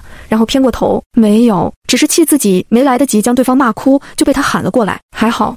最后一句对人的话是他说的。如果是宋梦夏对了他，他没来得及回嘴，那他不得气死。这样子显然是口是心非。季叔郁闷笑了一声，然后不知从什么地方拿出两枚胖胖圆圆的雪媚娘，要不要尝尝？我早上买的。花鱼坐了四个多小时后的飞机，下了飞机又坐上了大巴，距离目的地还要开一个多小时。到了也不知道有没有饭吃，所以看到两枚可爱的雪媚娘，他忍不住咽了下口水。但是他现在吃。不是显得很没骨气吗？季淑韵主动给他台阶下，这个甜品不能放太久，里面的奶油是新鲜打的，我也不爱吃这个。你如果不吃的话，只能浪费掉了。花鱼别扭道：“那谢谢季老师。”然后飞快从他手上拿过雪媚娘，小口小口吃了起来，外皮软糯，奶油甜而不腻。真好吃啊！花鱼一边吃，还不忘伸出舌头舔一下嘴边的奶油。季淑韵侧过头的时候，正好看到他粉嫩的舌尖掠过嘴唇，然后又调皮地缩了回去。喉结滚了滚，他干脆拿起手中的矿泉水喝了起来，以掩盖他内心的躁动。季老师，能不能帮我拿一下纸巾？花鱼两只手都沾了点奶油，用嘴巴示意纸巾在他的包包里。季淑韵伸手拿过他的包包，打开包包。不得不说，和平时女生包包里面放口红粉扑完全不一样。花鱼的包包里面杂七杂八，像是一个百宝袋，甚至还有一个小的计算器。季老师应该在最小面，小小的一包。花鱼小声提醒。季淑韵干脆将手伸进去掏，纸巾纸没掏到，倒是摸到了一本她异常熟悉的本本。她神色自若，继续摸着餐巾纸。最终在最下面的角落处摸到了花鱼的纸巾，将包拉上。季淑韵直接拿出纸巾，然后将他的手拉过来，细细的帮他擦着。花鱼吓了一个缩回，忍不住回头看了一眼同学们。季老师，你疯了！第二十九章，他们学校现在这么豪横了。季淑韵将他的手擦干净才放开，瞧着他一脸惊恐又做贼似的神情，忍不住笑了起来。花鱼低头凑近季淑韵，季老师，咱们不能这样，万一被同学们发现就完蛋了。季淑韵也靠近他。语气带着玩味，我今天才发现，原来你是这么在乎我随身携带结婚证。花语反应过来，脸色爆红。他只是觉得这么危险的东西，不管放在哪都很危险，所以只能随身携带。没想到给季淑韵造成了这样的错觉。季老师，不是你想的那样。花语干巴巴解释，嗯，那是什么呀？季淑韵大有一种不问清楚誓不罢休的冲动，就是我觉得吧。这个东西比较重要，但是你说要它多重要吧，这也细说不上来。但是这个东西吧，你说是吧？我也没别的意思，就是觉得这个东西还是有那么点意思。但是吧，这也不是什么大事，总是有解决的办法的。你非要现在说呢，那就没啥意思了。季老师，咱们下次再讨论。季淑韵就这么怔怔看着他，等他面不改色说完，他才嗤的一声笑出来。小花鱼，没想到你还有当领导的派头，失敬失敬。这话也不知道是夸他还是损他，但是，反正。好在没继续纠结结婚证这件事了。大巴车一路颠颠簸簸，刚开始同学们还在兴奋地说话，后来整个车厢都差不多安静了下来。花鱼回头看了一眼，大部分校友都靠在座位上昏昏欲睡。众所周知，困意是会传染的。花鱼打了个大大的哈欠，困了就睡会儿，还有差不多一个小时才到。季书韵见他双眼泛红，忍不住开口。花鱼伸了个懒腰，然后闭上眼睛。那我睡会儿了，季老师你也睡会儿。这一睡，他还真的睡香了，甚至还做了一个梦，好死不死的。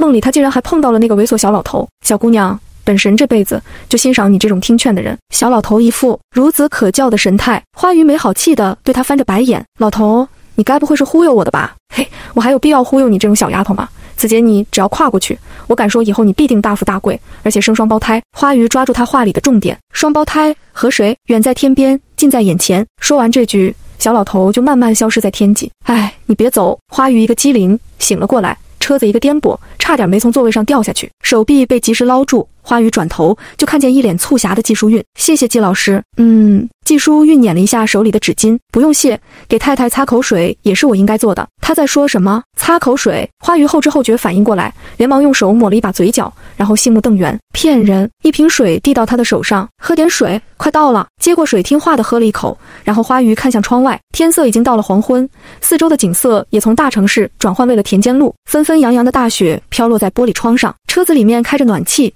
大家还不觉得冷，但是已经将羽绒服军大衣拿在了手里，准备一下车就裹上。这次拍的冬季的片段是需要在大学里面拍摄的，所以学校给他们定的是一个类似于度假地的地方，有雪，有温泉，还有酒店。对于学生来说，也算是变相的旅游了。车内的学生也开始躁动起来，又是坐飞机又是坐车的。大家都有些耐不住了。哇，你们看远处白雪皑皑，好美呀！我们晚上可以打雪仗吗？看这个天气还在下大雪呢，雪天出去容易迷路。有大胆的女生已经在后面问季老师。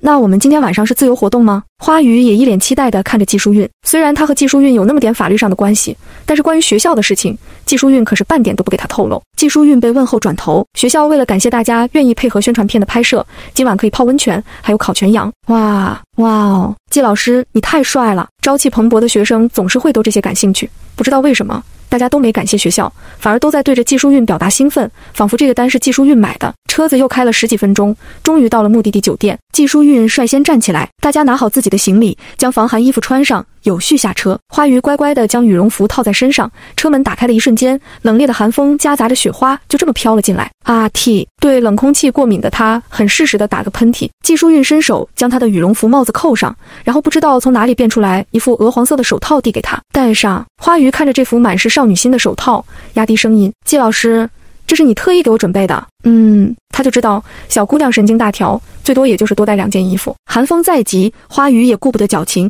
三两下就将手套戴上。下车的时候，男生依然是很有绅士风度的，帮女生拿行李箱。一群裹着跟企鹅一样的人站在酒店前面。季淑韵核实了一下人数，就走到一边打个电话，然后一个穿着正装的胖胖的酒店工作人员就小跑着出来了，一边跑还一边打开手中的伞。就当大家以为这个伞要撑在他自己头上的时候，众人就看见那个胖胖的男人将伞撑在了季淑韵。的头上，然后神情要多恭敬就多恭敬。花鱼抬头，啧这屋檐下也没有雪呀。季淑韵和那个酒店的工作人员也不知道说了些什么。大概五六分钟后，就见他手上拿着一沓房卡过来了，都是单人间，大家过来领取房卡，然后拿着身份证去前台登记。第三十章，我不吃牛肉。众人，你看看我，我看看你。单人间，这个酒店看起来就很豪。他们学校现在变得这么豪横了。花语也是很惊喜，他以为最好的状态就是两个人住一间了。则他之前还在愁，这么多女生，他都没一个认识的，住在一起多尴尬呀。反应过来的众人一拥而上，季老师，咱们学校也太好了吧？就是这是五星级酒店吧？没想到我这辈子第一次住五星级酒店，竟然是托学校的福。我要赶紧发 PYQ，秀死他们！哈哈哈。季淑韵做了一个安静的手势，大家将行李放在自己房间，然后就在大厅集合。晚餐有烤全羊。遵命。哇哦！叶雨单肩背着包，站在人群的最后，看了一眼这个酒店，眯了眯眼，若有所思。花雨也拿到了他的门卡。幺五零八号和季淑雨打声招呼，他就拖着行李箱上去了。到了房间，他直接扑倒在大床上。五星级酒店的床果然很舒服啊！推开窗户，外面是一个滑雪场，远处都是一片白，没敢耽误。他稍微收拾了一下，就下楼和大部队结合。烤全羊安排在酒店后面的听兰阁，除了烤全羊，还有各种各样的饮料。烧烤酒店的厨师正在烤肉，大家很兴奋。男生已经跃跃欲试，想要亲自上阵烧烤，看我祖传三十年的烧烤技术。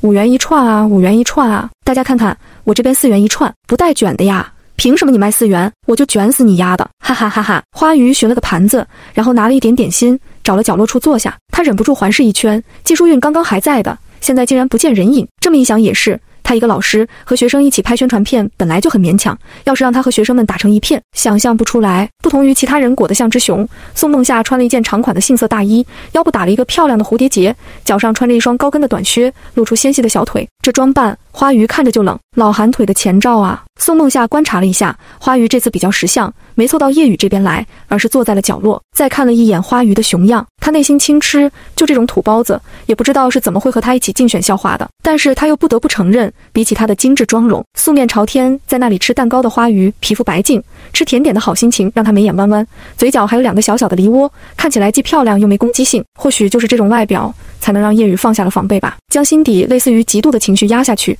宋梦夏拿了两小杯饮料，朝着叶雨走去。叶雨穿着宽大的面包服，整个人懒散地坐在一个藤椅上，两条修长的腿随意搭在前面一张小马扎上，眼睛被垂落下来的碎发忍住，正专心地玩着手机游戏。他没有去凑热闹，去弄什么烧烤，也没有和别的男生一起起哄。但是他这样的人，好像本来就和烧烤扯不上关系。宋梦夏走进叶雨，对方似乎并未意识到他的靠近，或许是意识到了。但是不愿意抬头。叶雨同学，我拿了饮料，要喝吗？宋梦夏的声音故意放柔。藤椅上面的人懒懒地将腿收回来，掀开眼皮看了他一眼。有事。声音不咸不淡，没有任何情绪，但是就是感觉里面有着不耐。宋梦夏假装没听出来他的不耐，将其中的一杯饮料放在他手边。看你在这边也没吃什么东西，就顺手拿了杯饮料过来。说实话，宋梦夏心里有些不平衡。凭什么他对着花鱼就可以说说笑笑，还说花鱼是他姐姐，对着自己就很冷漠？他将一切都归咎于花鱼脸皮比较厚这上面。叶雨没吭声，拿过那杯饮料，咬住吸管喝了起来，然后继续低头打游戏。花鱼吃完小蛋糕，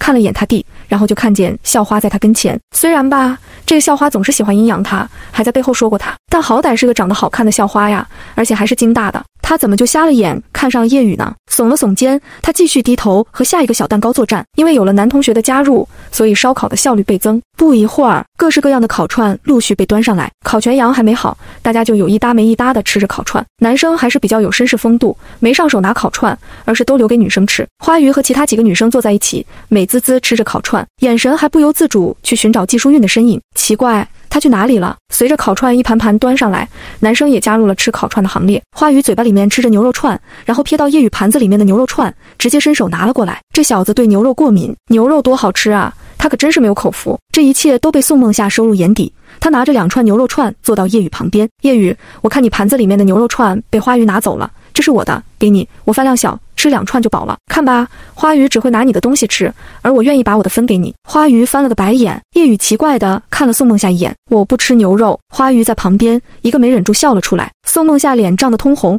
狠狠地瞪了花鱼一眼。花鱼耸肩，那你想吃什么？我帮你去拿。宋梦夏变了变表情，还是耐着性子问。叶雨真的觉得女生是个麻烦的生物，她本来以为花鱼已经够烦了，没想到这个女人更烦。掀起眼皮看了一眼，声音淡淡，我想一个人。可以吗？宋梦夏脸色变了又变，当然可以了。说完还不忘瞪了一眼旁边的花鱼。花鱼这次可是躺着也中枪，他既没笑，也没将注意力放在他们那边。嗨，他都忍不住在学校贴个告示了，告诉大家他和叶雨是龙凤胎姐弟。但是这事吧，叶雨肯定第一个不同意。按照他的想法，就是别人的想法和他有什么关系？他为什么要因为别人的误会去特意解释？不对，其实，在车上叶雨已经解释了，但是没人信罢了。